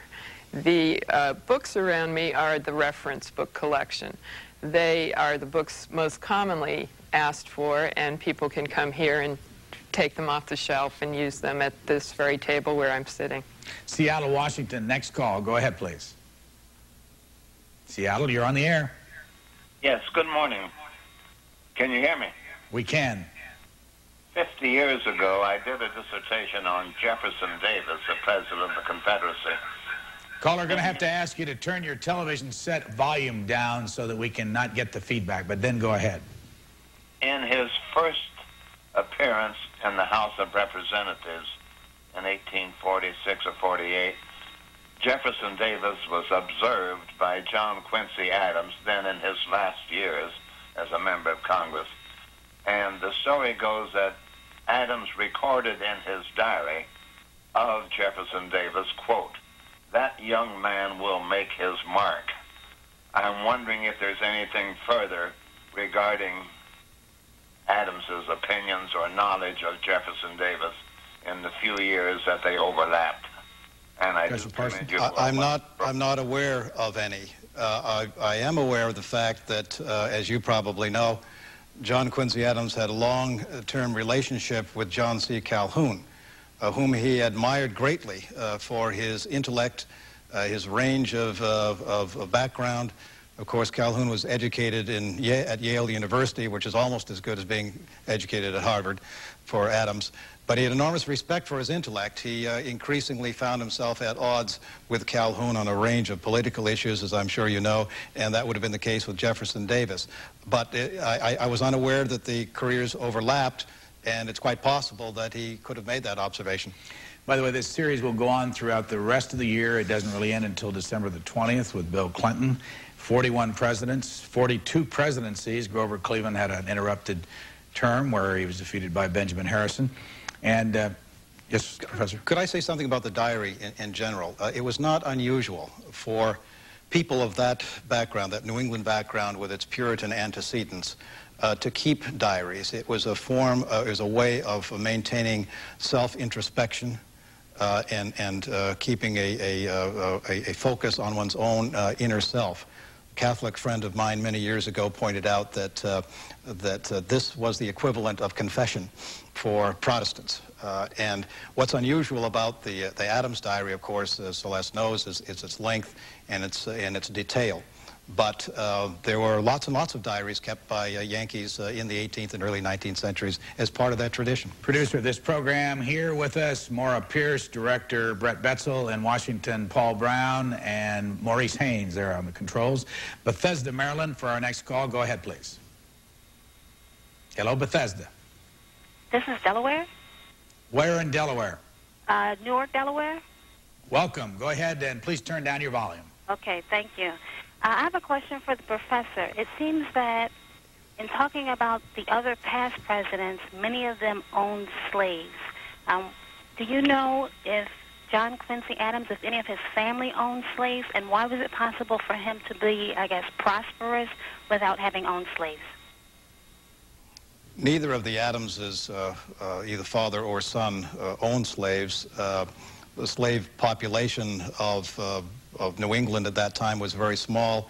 Uh, the economy, the society, the, uh, the, the culture was something that never really was particularly comfortable with it. Some of the most uh, strident uh, anti-slavery statements that I recall any Adams uh, ever making uh, were made by Abigail Adams. they employed free black servants from time to time. But at no point did slavery play a significant part in the uh, culture or uh, economy of New England, and the Adamses just followed suit in that direction. Celeste Walker, what does an editor do of uh, papers like the Adams paper? Well, we call ourselves documentary editors, and we're not editors in the sense that we cross anything out. What we do is we try and uh, make an accurate transcription of the documents, of the diaries, of the letters, write explana explanatory footnotes, and we publish the volumes. We've published 36 volumes to date. What else can you show us there this morning? What I have here is a journal of Louisa Catherine Adams, John Quincy Adams' wife. In 1815, when he concluded the Treaty of Ghent, he went to Paris. And Louisa Catherine had stayed in Russia with young Charles Francis Adams, who was about eight years old. John Quincy Adams asked her to close up the house in Russia, ship the books home, and come and meet him in Paris. This was in uh, January 1815. Uh, she did this. She did this essentially by herself with the help of uh, the people that she employed, and she came along with in a carriage across uh, from St. Petersburg to Paris in the middle of the winter, essentially. Uh, what she did, what she didn't know, what John Quincy Adams didn't know, is uh, it was Napoleon's comeback. She's riding in a big Russian coach with six horses, and she's approaching Paris. And she later wrote this all down, I think, really for her son and her grandchildren to write. But she writes that they're approaching Paris, and they come across Napoleon's army uh, marching back. And the, the army, and uh, more specifically the camp followers, uh, weren't thinking too kindly of Russians at this time after Napoleon's defeat. And so it was becoming very clear that it was dangerous for her in this carriage. She showed her passport to the soldiers immediately. And she writes, at which point the soldiers shouted, long live the Americans, vive les, les Américains, and asked her to shout back, vive Napoleon, long live Napoleon. So she waved her white handkerchief, and every time the soldiers gave her the sign, she yelled, long live Napoleon. Uh, she, the people came over to her side, and she was able to proceed and meet her husband in Paris without any problems. Chicago, Illinois, you're next. Um, first of all, I want to uh, thank you, um, C-SPAN, for this excellent series and once again a very informative show. Um, my question for the professor is, is earlier reference to the uh, corrupt bargain uh, related to the uh, election of 1824. I know there's been some speculation that Adams may have arranged maybe a special deal with Henry Clay to gain support of the, the House of Representatives, and I understand this really hurt him um, going into his presidency. Uh, first of all, I, would like to know, is there any historical evidence that this actually happened, or were there perhaps other circumstances that may have um, really um, affected the, the vote? Um, and secondly, I was wondering if the professor could please describe the relationship between um, Henry Clay and John, and John Quincy Adams. Uh, it would seem that Clay, as a Westerner, and, and Adams, as a New Englander, may have had uh, very different political goals. Um, but I, but I understand that they uh, eventually became very close allies, and I was wondering how the relationship might have changed uh, between the two um, the two leaders before and after Adams's presidency. Thank you. Let me take the first question first. I I know of no biographer of Andrew Jackson uh, in the 20th century or even in the late 19th century that subscribes to the notion that there was a uh, illicit arrangement between Adams and Clay uh, that resulted in Adams's election. Indeed, I think uh, even Martin Van Buren, who was a, a, protege of Andrew Jackson, of course succeeded him as president in his autobiography, specifically disclaimed uh, any, any belief that that had been the case. But as we tell our students uh, in our history courses in college, very often what people believe to be the case is more important than what really is the case. And during uh, uh, Adams' single term as president, that charge was repeated over and over and over again and certainly did contribute, although I don't think it was the deciding factor in his defeat. As for the relationship between Adams and Clay, uh, you're right. Uh, as a Westerner, Clay had different points of view than Adams did uh, from New England. This came out particularly when they both were in Belgium in 1814 negotiating the end of the, uh, uh, the War of 1812.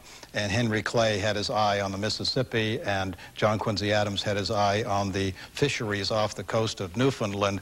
And there was a gap in their, in their interest there, to say the least.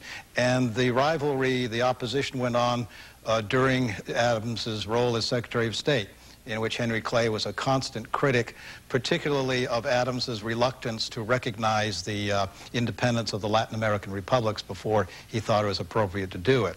But by the time Adams was a candidate for president and Clay was no longer eligible for the reason that I gave before, they had come around to uh, an accommodation. They had one thing in common, and that is that both Adams and Clay believed uh, that the purpose of the federal charter, the federal the Constitution, the powers given to Congress, was an active one to improve society, to build roads, to build canals, to sponsor uh, educational projects, to build a national university, to create a naval academy, uh, and ultimately things like the Smithsonian Institution.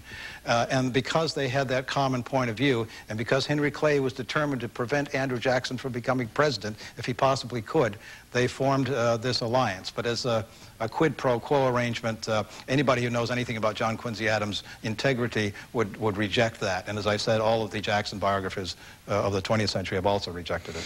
There's a lot to visit um, here in the Massachusetts, Boston area about the Adams family, including their birthplaces over in Quincy, Massachusetts, both the father and the son, second president of the United States and the sixth president of the United States. Also the church, where they uh, went to church often. You can see there on the screen. It's only about 20 minutes from downtown Boston to drive over there. And uh, we showed the church earlier where the crypt has been closed, at least for the time being. It sounded like uh, from our guest uh, that we had on the air here that the church won't be closed for that long. He gave the impression that maybe from six to uh, seven weeks. He certainly is hopeful. and he needs, I guess, $41,000. That's Reverend Sheldon Bennett. He told us he needed $41,000 in order to op open the crypt back up. The church is open, however, and that's the First Parish Church right there on the main street in um, Quincy, Massachusetts. And of course, as we learned earlier, this Massachusetts Historical Society is open. You can come visit. You can read the, the papers here and the transcripts. Uh, Bill Fowler, who's the director of the Massachusetts Historical Society, was with us earlier. On your screen right now is the crypt. There's a live picture of the Massachusetts Historical Society. Our call is from Boxford, Mass. Go ahead, please. What's your question, your comment? Um, I believe that um, John Quincy Adams' late wife, Louisa, was um, the daughter of an American merchant who was doing business in London on the eve of the Revolution. And I was wondering how John Quincy Adams' parents felt about his foreign-born wife, and how did that affect John Quincy Adams' relationship with his parents? Are you uh, studying this in school? Um, well, sort of. And why are you interested in this? Oh, my younger sister is very interested in presidents, and we watch this, like, every day that it's on. So. And what is your name? Allison. What's your last name? Um, Hartrick. Thank you very much. It's an excellent question. Uh, as the introduction pointed out, uh, uh, Louisa Catherine Adams is the only First Lady up until now, at any rate, who was not born in the United States. Because, however, her father was an American citizen, she was uh, an American uh, in terms of her citizenship uh, when she first visited the United States, which was not until she was 26 years old. Um, the fact that she was born in London, uh, I don't think particularly bothered John Quincy Adams, but it did bother his mother. Uh, she at one point referred to, uh, this was before they were married, uh, to Louisa as a half-blood, uh, referring to the, the origins that you've mentioned. Louisa Catherine Adams had two problems. Uh, one was the fact that she, because she was born in England, a number of people thought she was an English woman and had, was an alien or an immigrant, which is, is not true, as I've said. And the other problem she had was, uh, was her mother-in-law, Abigail, who was a, uh, a formidable personality. And uh, in, the initial, in the early years, when, after she married John Quincy Adams and after she came to the United States, there was considerable friction between the two. In the long run, however, uh, it turned into uh, uh, not just uh, respect, but, uh, but affection. And by the time Abigail Adams died in 1818, 1818 they were very, very close.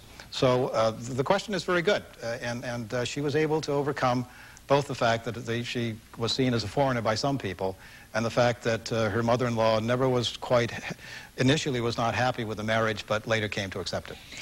And uh, getting a call from a 14-year-old uh, who has a 13-year-old sister who's paying attention to this series. It reminds us that we want to make sure that teachers in the audience who want to get involved with our 41-part series can give us a call today, if you're watching, at 202-626-4858.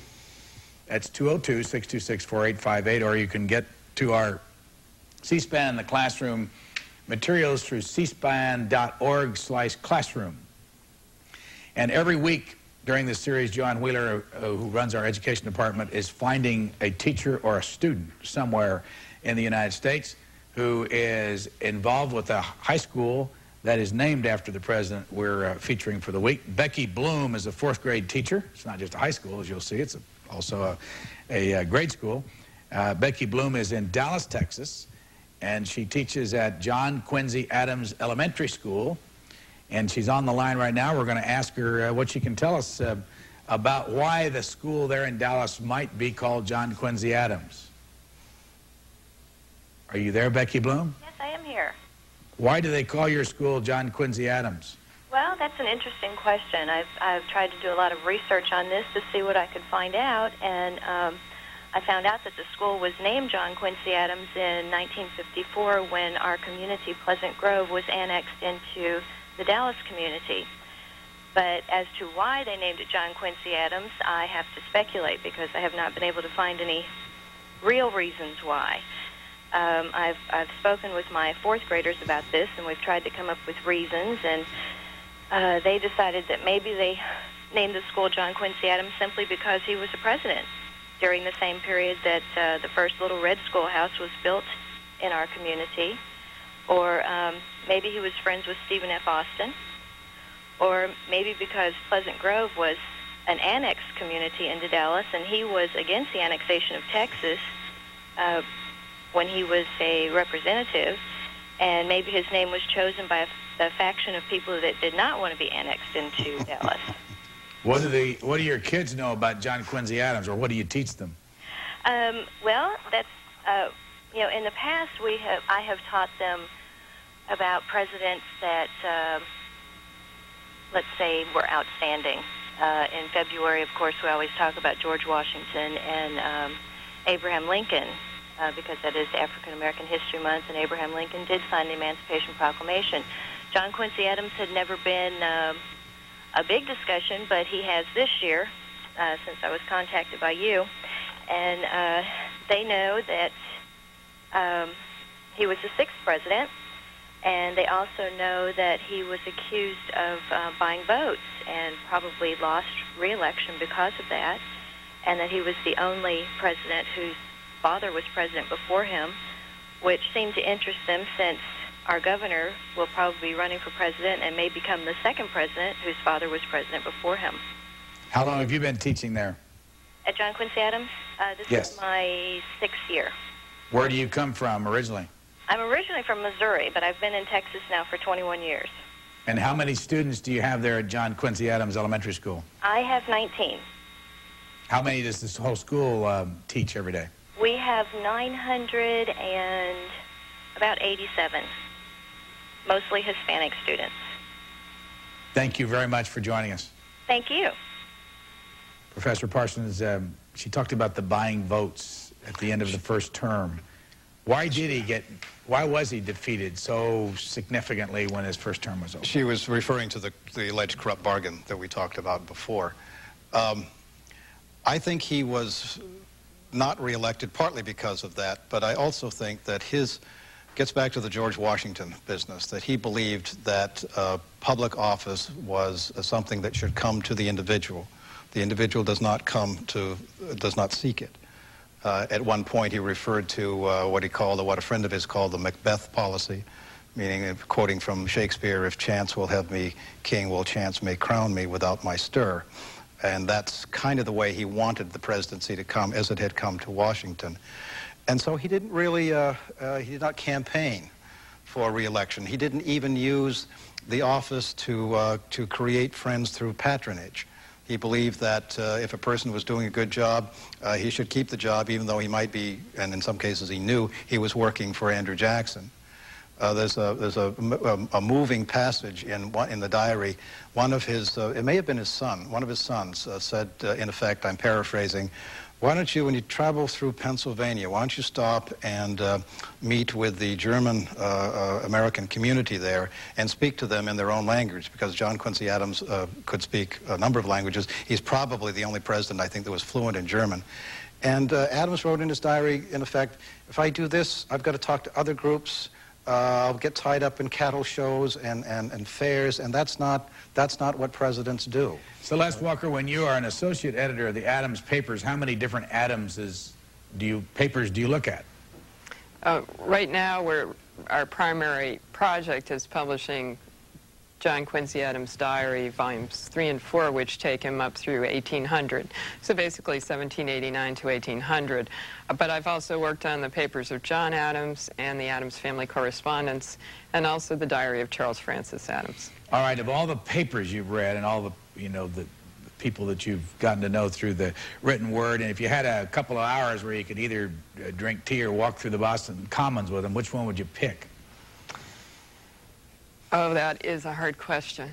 I would really like to be in Quincy before John Adams died, and but when John Quincy Adams was there, and um, knock at the door of the house as one, as different people did, just to meet the presidents, uh, just to see the family, just to see see them at home. I think that would be wonderful. Celeste Walker wants it all. You can see Shelburne, Vermont on the screen is the Adams Mansion. Off to the left there is the Stone Library, which was built by Charles Francis Adams. Go ahead, Shelburne, Vermont. You're on the air. Yes, in the late 1960s, uh, I worked for uh, Charles Francis Adams, who died recently, and my wife had a class with George Homans. As you remember, the Homans are direct descendants of the Adams.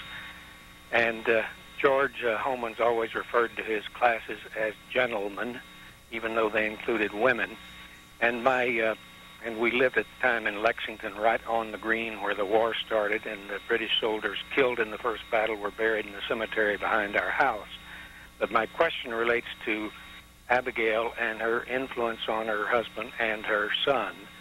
Uh, she had said, uh, time the Constitution was being written, remember the ladies, and also that all men would be tyrants if they could. She clearly felt uh, strongly about women's uh, suffragette and so forth. Is there any evidence in the writings of John Quincy uh, how he personally felt about uh, women's role in uh, in the polity, and as opposed to what he might have felt the political realities were, uh, since she was such a forceful woman did she not have effect upon her husband and her son concerning the rights of women? Thank you. Professor Parsons. As you probably know, uh, John Adams, uh, who was the recipient of the Remember the Ladies letter, uh, I don't think really took it seriously. And uh, there was not uh, much progress made uh, with regard to the status of women during the latter 20 years of, of the 18th century when that letter was, was written. Uh, as for the impact of Abigail Adams on John Quincy, that's something that I'm not completely sure of myself. There's no question that as a mother, she had a great deal of influence. As a woman, I'm not quite sure. Uh, John Quincy Adams uh, was in many respects uh, a male chauvinist pig when it came to the role of women in society, with one exception and that is, in the, again, in the 1830s when he uh, introduced the petitions on support of anti-slavery cases. Many of them came from women, and he defended over and over again the right of women to submit petitions to Congress. But when it came to giving them the vote, he was opposed to it because he said, you can never tell when wives will vote against their husbands and cancel out their vote. Anything in the uh, diaries or the works that you've read, Celeste Walker, on this issue? Uh, no, I don't think John Quincy Adams addresses this question, but it's very clear he had high expectations from his family, from his wife. Um, as we saw, tell her to pack up the house, come from Russia to Paris, that wasn't an easy thing to do. But as far as women and the right to vote, I don't think he ever addressed that question. Tucson, Arizona, go ahead, please. Hello, this is Philip Eklund. My question is has to do with the political stance of John Quincy Adams. I wanted to know if he had a um, fundamentally he stood for something and followed consistent integrated political principles.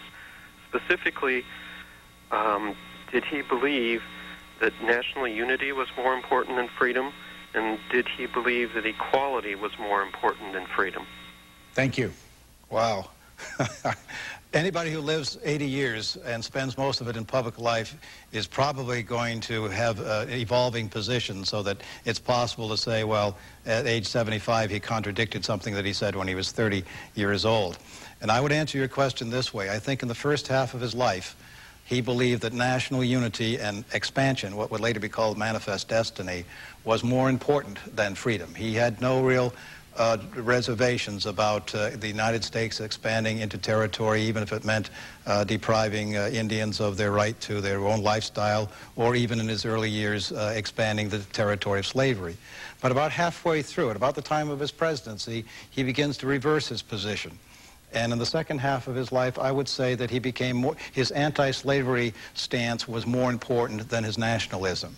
I don't know whether that answers your question entirely, but as I said, when, you, when you're dealing with a, a, career that long, I don't care who the president is or who the statesperson is, there's going to be this ambivalence. But my, my, my quick analysis of it is the first half of his career, he was more nationalist than he was anti-slavery. The second of his career, he was more anti-slavery than he was nationalist. Where is the State University of New York at Brockport? It's on the banks of the Erie Canal, about 20 miles uh, uh, west of, uh, of the city of Rochester a thriving uh, community of uh, extraordinary students and professors. Now, the, if I my history, uh, I remember right, Erie Canal had something to do during that period of. It was completed uh, during uh, during the uh, the last few miles of it were completed during Adams' administration, and in fact, he called attention to it in his first annual message, what we now call the State of the Union message. He specifically alluded to uh, the Empire State having, uh, he used flowery language, had wedded the waters of the Atlantic with the waters of the Lake Erie. Other than George Washington, uh, who died considerably earlier, there, uh, also there were a lot of presidents alive up until the time that his father died in 1826 during his four years. Uh, during, yes, uh, let's see, uh, uh, uh Jefferson and, and, and, his father and Madison and Monroe were all living when he became president. Did he know them all? Oh, yes. He, uh, James Madison appointed him uh, minister to, uh, to Russia, and he served as Secretary of State for uh, James Monroe, and of course he knew Jefferson as a boyhood, uh, uh, as a boyhood companion. Celeste Walker, are there any mentions in the diaries of John Quincy Adams about all the famous men and, and or women that we've, we've been talking about? Oh, he mentions everyone. When he's in Paris with his father, he dines with Benjamin Franklin. He uh, walks with Thomas Jefferson. He, this, this was his circle. This, these were the people he grew up with. What kind of a, of a, a writing instrument did he use for these diaries? He, he used the pen um, that he would dip in the ink. Uh, as you can see, it's brown ink. It wasn't until later that uh, blue ink that I've ever seen blue ink, much later in papers. So his entire diaries, uh, all the diaries were in brown ink? Yes, or it's a little bit darker sometimes, but it, it's that brown rather than blue. What kind of paper? Oh, it's thick, very uh, high rag, high cotton content paper that has lasted very well over 200 plus years. Bethany, Oklahoma, good morning. Morning. I uh, found a poem that was in the front of a book that was uh, actually written by John Quincy Adams about himself. The uh, poem is entitled uh, Massachusetts, and I would like to read it to you. It consists of about five lines. Go right ahead. John Quincy Adams of Quincy, and with the name, why should the pen forbear?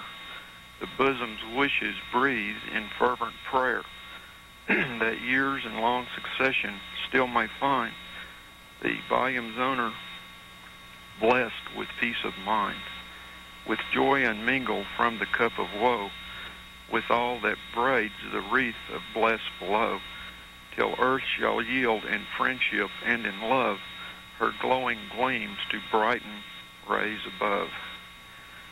And it was interesting to me that he asked for peace of mind, uh, joy, and love in the last years of his life in this point. Is that uh, is that written in the book itself, uh, in his handwriting? It's in his handwriting. The page was torn from the book. Uh, it was written in January the 19th, 1837. Why are you interested in this, caller? Um, I collect presidential history, and um, what you have there is, is an example of what Adams was asked to do increasingly toward the end of the last 10 years of his life. Young, usually young women, uh, but not always, uh, present him with copies of books and ask him to write something in it uh, as an autograph. And he sometimes not only signed it, but also wrote a few lines of verse. He's one of uh, two or three presidents, uh, Jimmy Carter being the most recent, who aspired uh, to poetry. Um, there's mixed reviews on the quality of his verses, but uh, that what you have there is an example of, of that, that interest that he had. Celeste Walker, do you get many uh, oh, high school, grade school kids that come through here for tours and look at things like uh, the diaries that you're working on? Uh, we get quite a bit of interest uh, from students around the time of the National History Day celebrations. Uh, the society, because it's relatively small with a small staff. We don't have many uh, public programs for students, although um, many teachers, they make arrangements to bring their students in for a tour, and we put out items that we think they'll be interested in. Do you think people use this place as much as they should? I think there are many people who may not know about it and, and don't use it, but I do think, echoing Bill Fowler, that if you are working in American history, uh, you almost have to come here for early American history, and it seems to me that you would find out about us. Our microfilm of the Adams Papers is located, however, at uh, over 90 libraries uh, throughout the country. So somebody can read this at a local college library, let's say, or a very large municipal library somewhere else. What happens if you want to buy all the microfilm? What does it cost for all the John Quincy Adams diaries?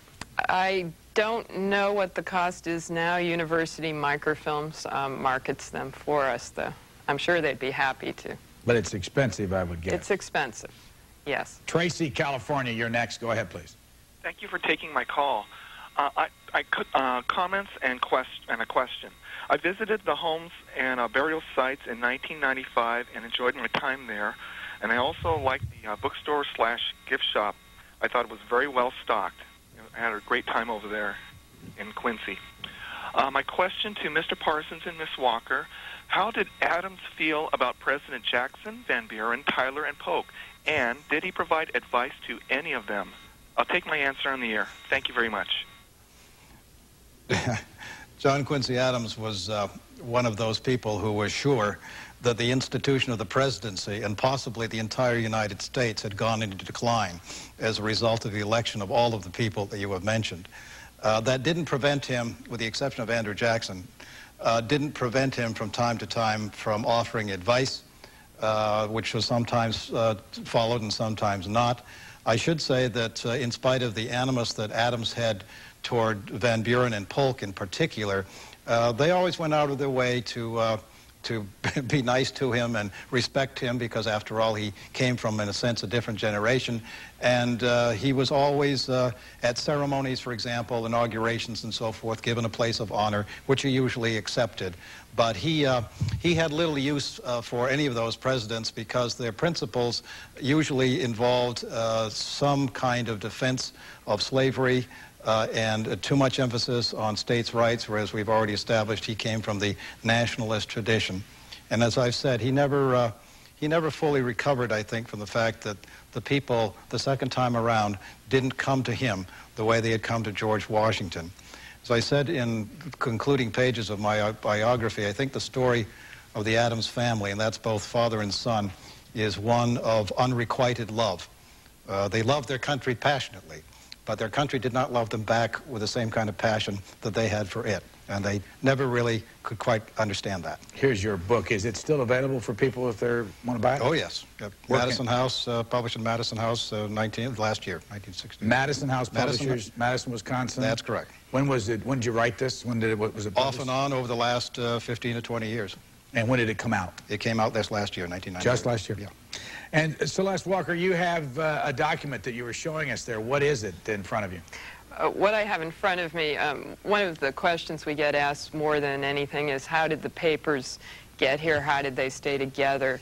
And, and the real reason for that is that the family kept the papers together from generation to generation. Uh, willing it to the next generation. Uh, so they didn't get scattered among numerous descendants. Uh, what we have here is the deed of gift that John Adams dictated to John Quincy Adams, where he says, I hereby give to my son John Quincy Adams, and then skips down all my manuscript letter books, account books, letters, journals, and manuscript papers.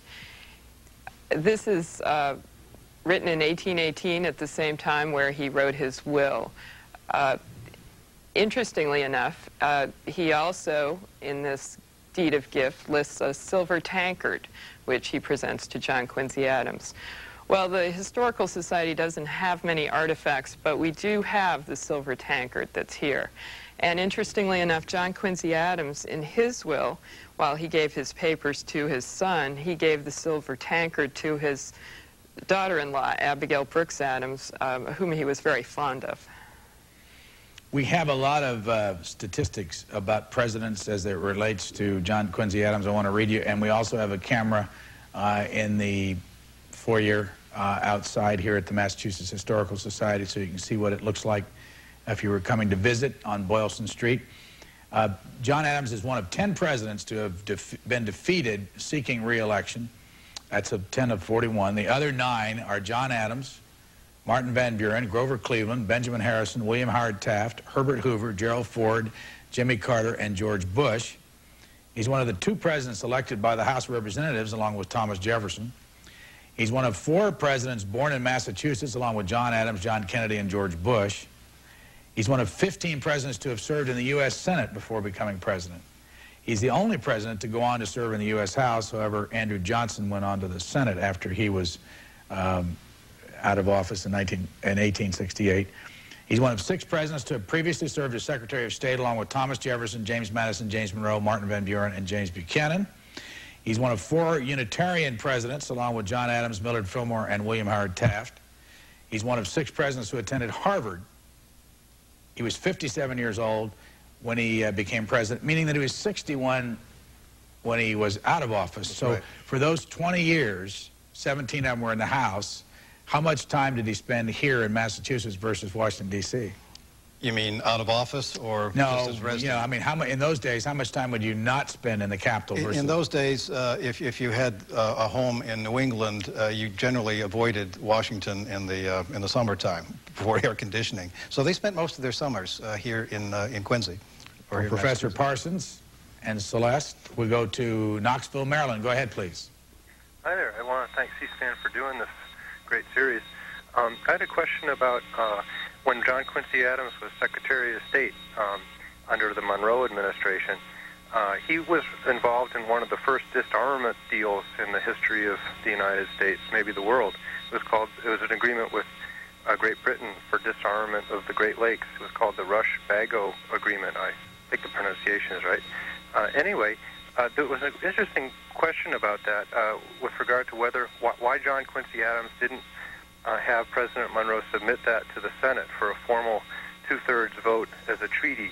Uh, he, instead, they called it an agreement uh, and and tried to uh, uh, do it without going to the Senate. And I was wondering if you folks have any insights into why Adams and Monroe chose that route. I, eventually, they did go to the Senate when the senators made a fuss, but I was wondering initially they, they chose not to, and I, am curious uh, why that was.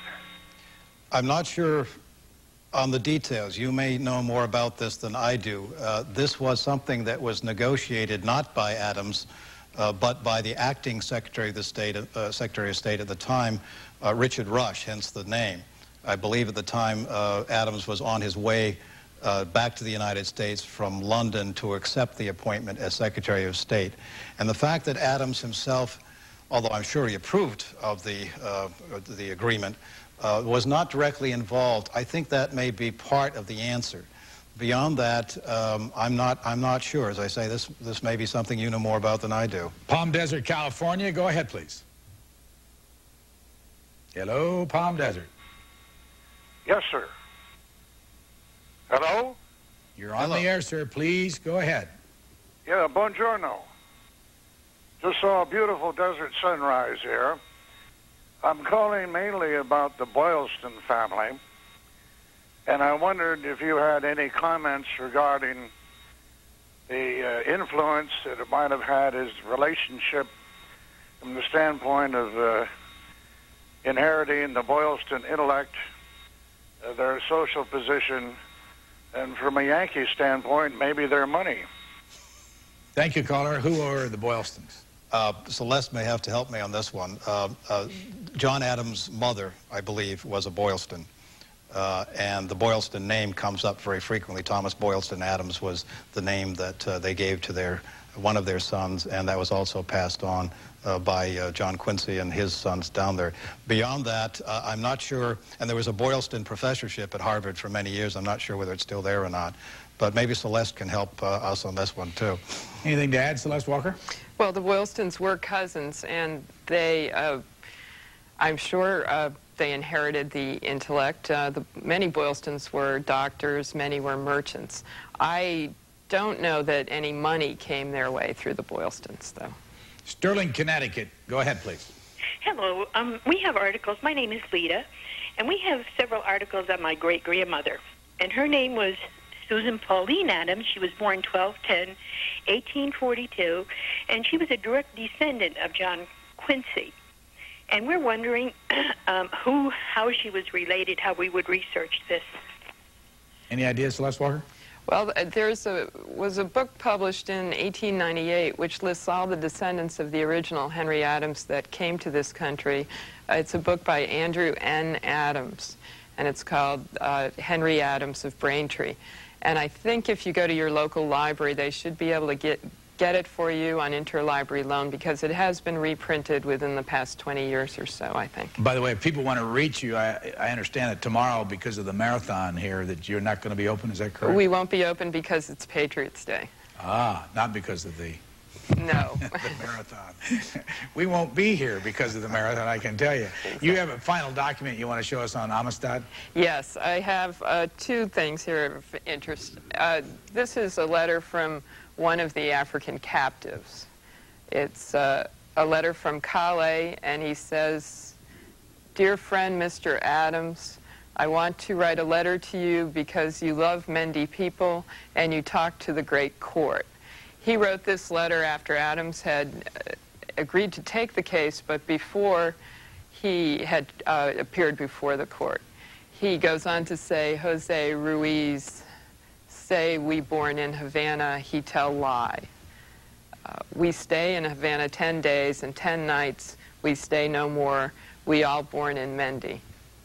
Uh, at this time, the captives had been here about a year and a half, uh, I don't know if, clearly this letter was dictated. I don't know who wrote it, though. I don't know if, if the captives learned how to write. By the way, we're out of time. Uh, once again, wrapping this up, you've been here how long? I've been here 25 years. What's the best thing about this job for you? Oh, the best thing is, is sitting there and reading the manuscripts and reading something you've never seen before and probably no one's ever noted down. Thanks for doing this for us this morning. Well, Thank you for coming. Sunday morning. Professor Parsons, what, uh, what do you dislike the most about uh, John Quincy Adams? The great fear that uh, if I make a generalization about him, I will have overlooked something uh, that contradicts it. There's so, such a mass of material uh, that it's virtually impossible for one uh, human being to say with authority that they have read everything that's relevant that John Quincy Adams ever said or did. I want to thank the staff of the Massachusetts Historical Society for letting us come here on a Sunday morning, and um, also uh, the uh, Speaker of the House for letting us put a camera in Statuary Hall on a day when there are a lot of tourists there. Tina Tate, who helped us in the gallery down there in the House Radio and Television Gallery. The uh, Cablevision Systems of Boston, a big cable system in this area surrounding this whole town. And the staff of the Adams National Historical Park, Marianne Peak, superintendent over there in Quincy. And uh, back home in Washington, our education staff is in today, ready to take your calls. One more time, we'll give you the telephone number. It's 202-626-4858 and cspan.org slash classroom. Call them now if you're interested in joining Cable in the Classroom. For all teachers, it's free of charge. We will not bug you in the future with any kind of solicitation whatsoever. And we thank uh, our viewers who always bring to this a special spontaneity and to the young folks who are calling. Have a good day.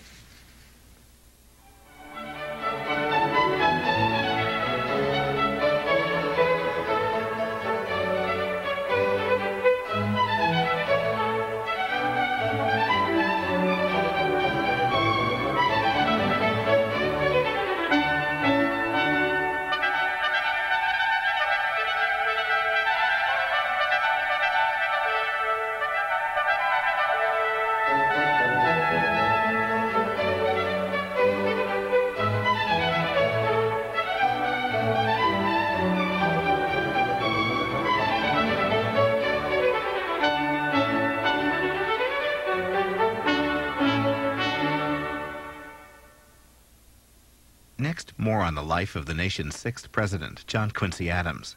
In a moment, a look at how he impacted the founding of the Smithsonian Institution in Washington, D.C. This segment's a little under 10 minutes. The Smithsonian began in 1835 when President Andrew Jackson received a letter from England from uh, a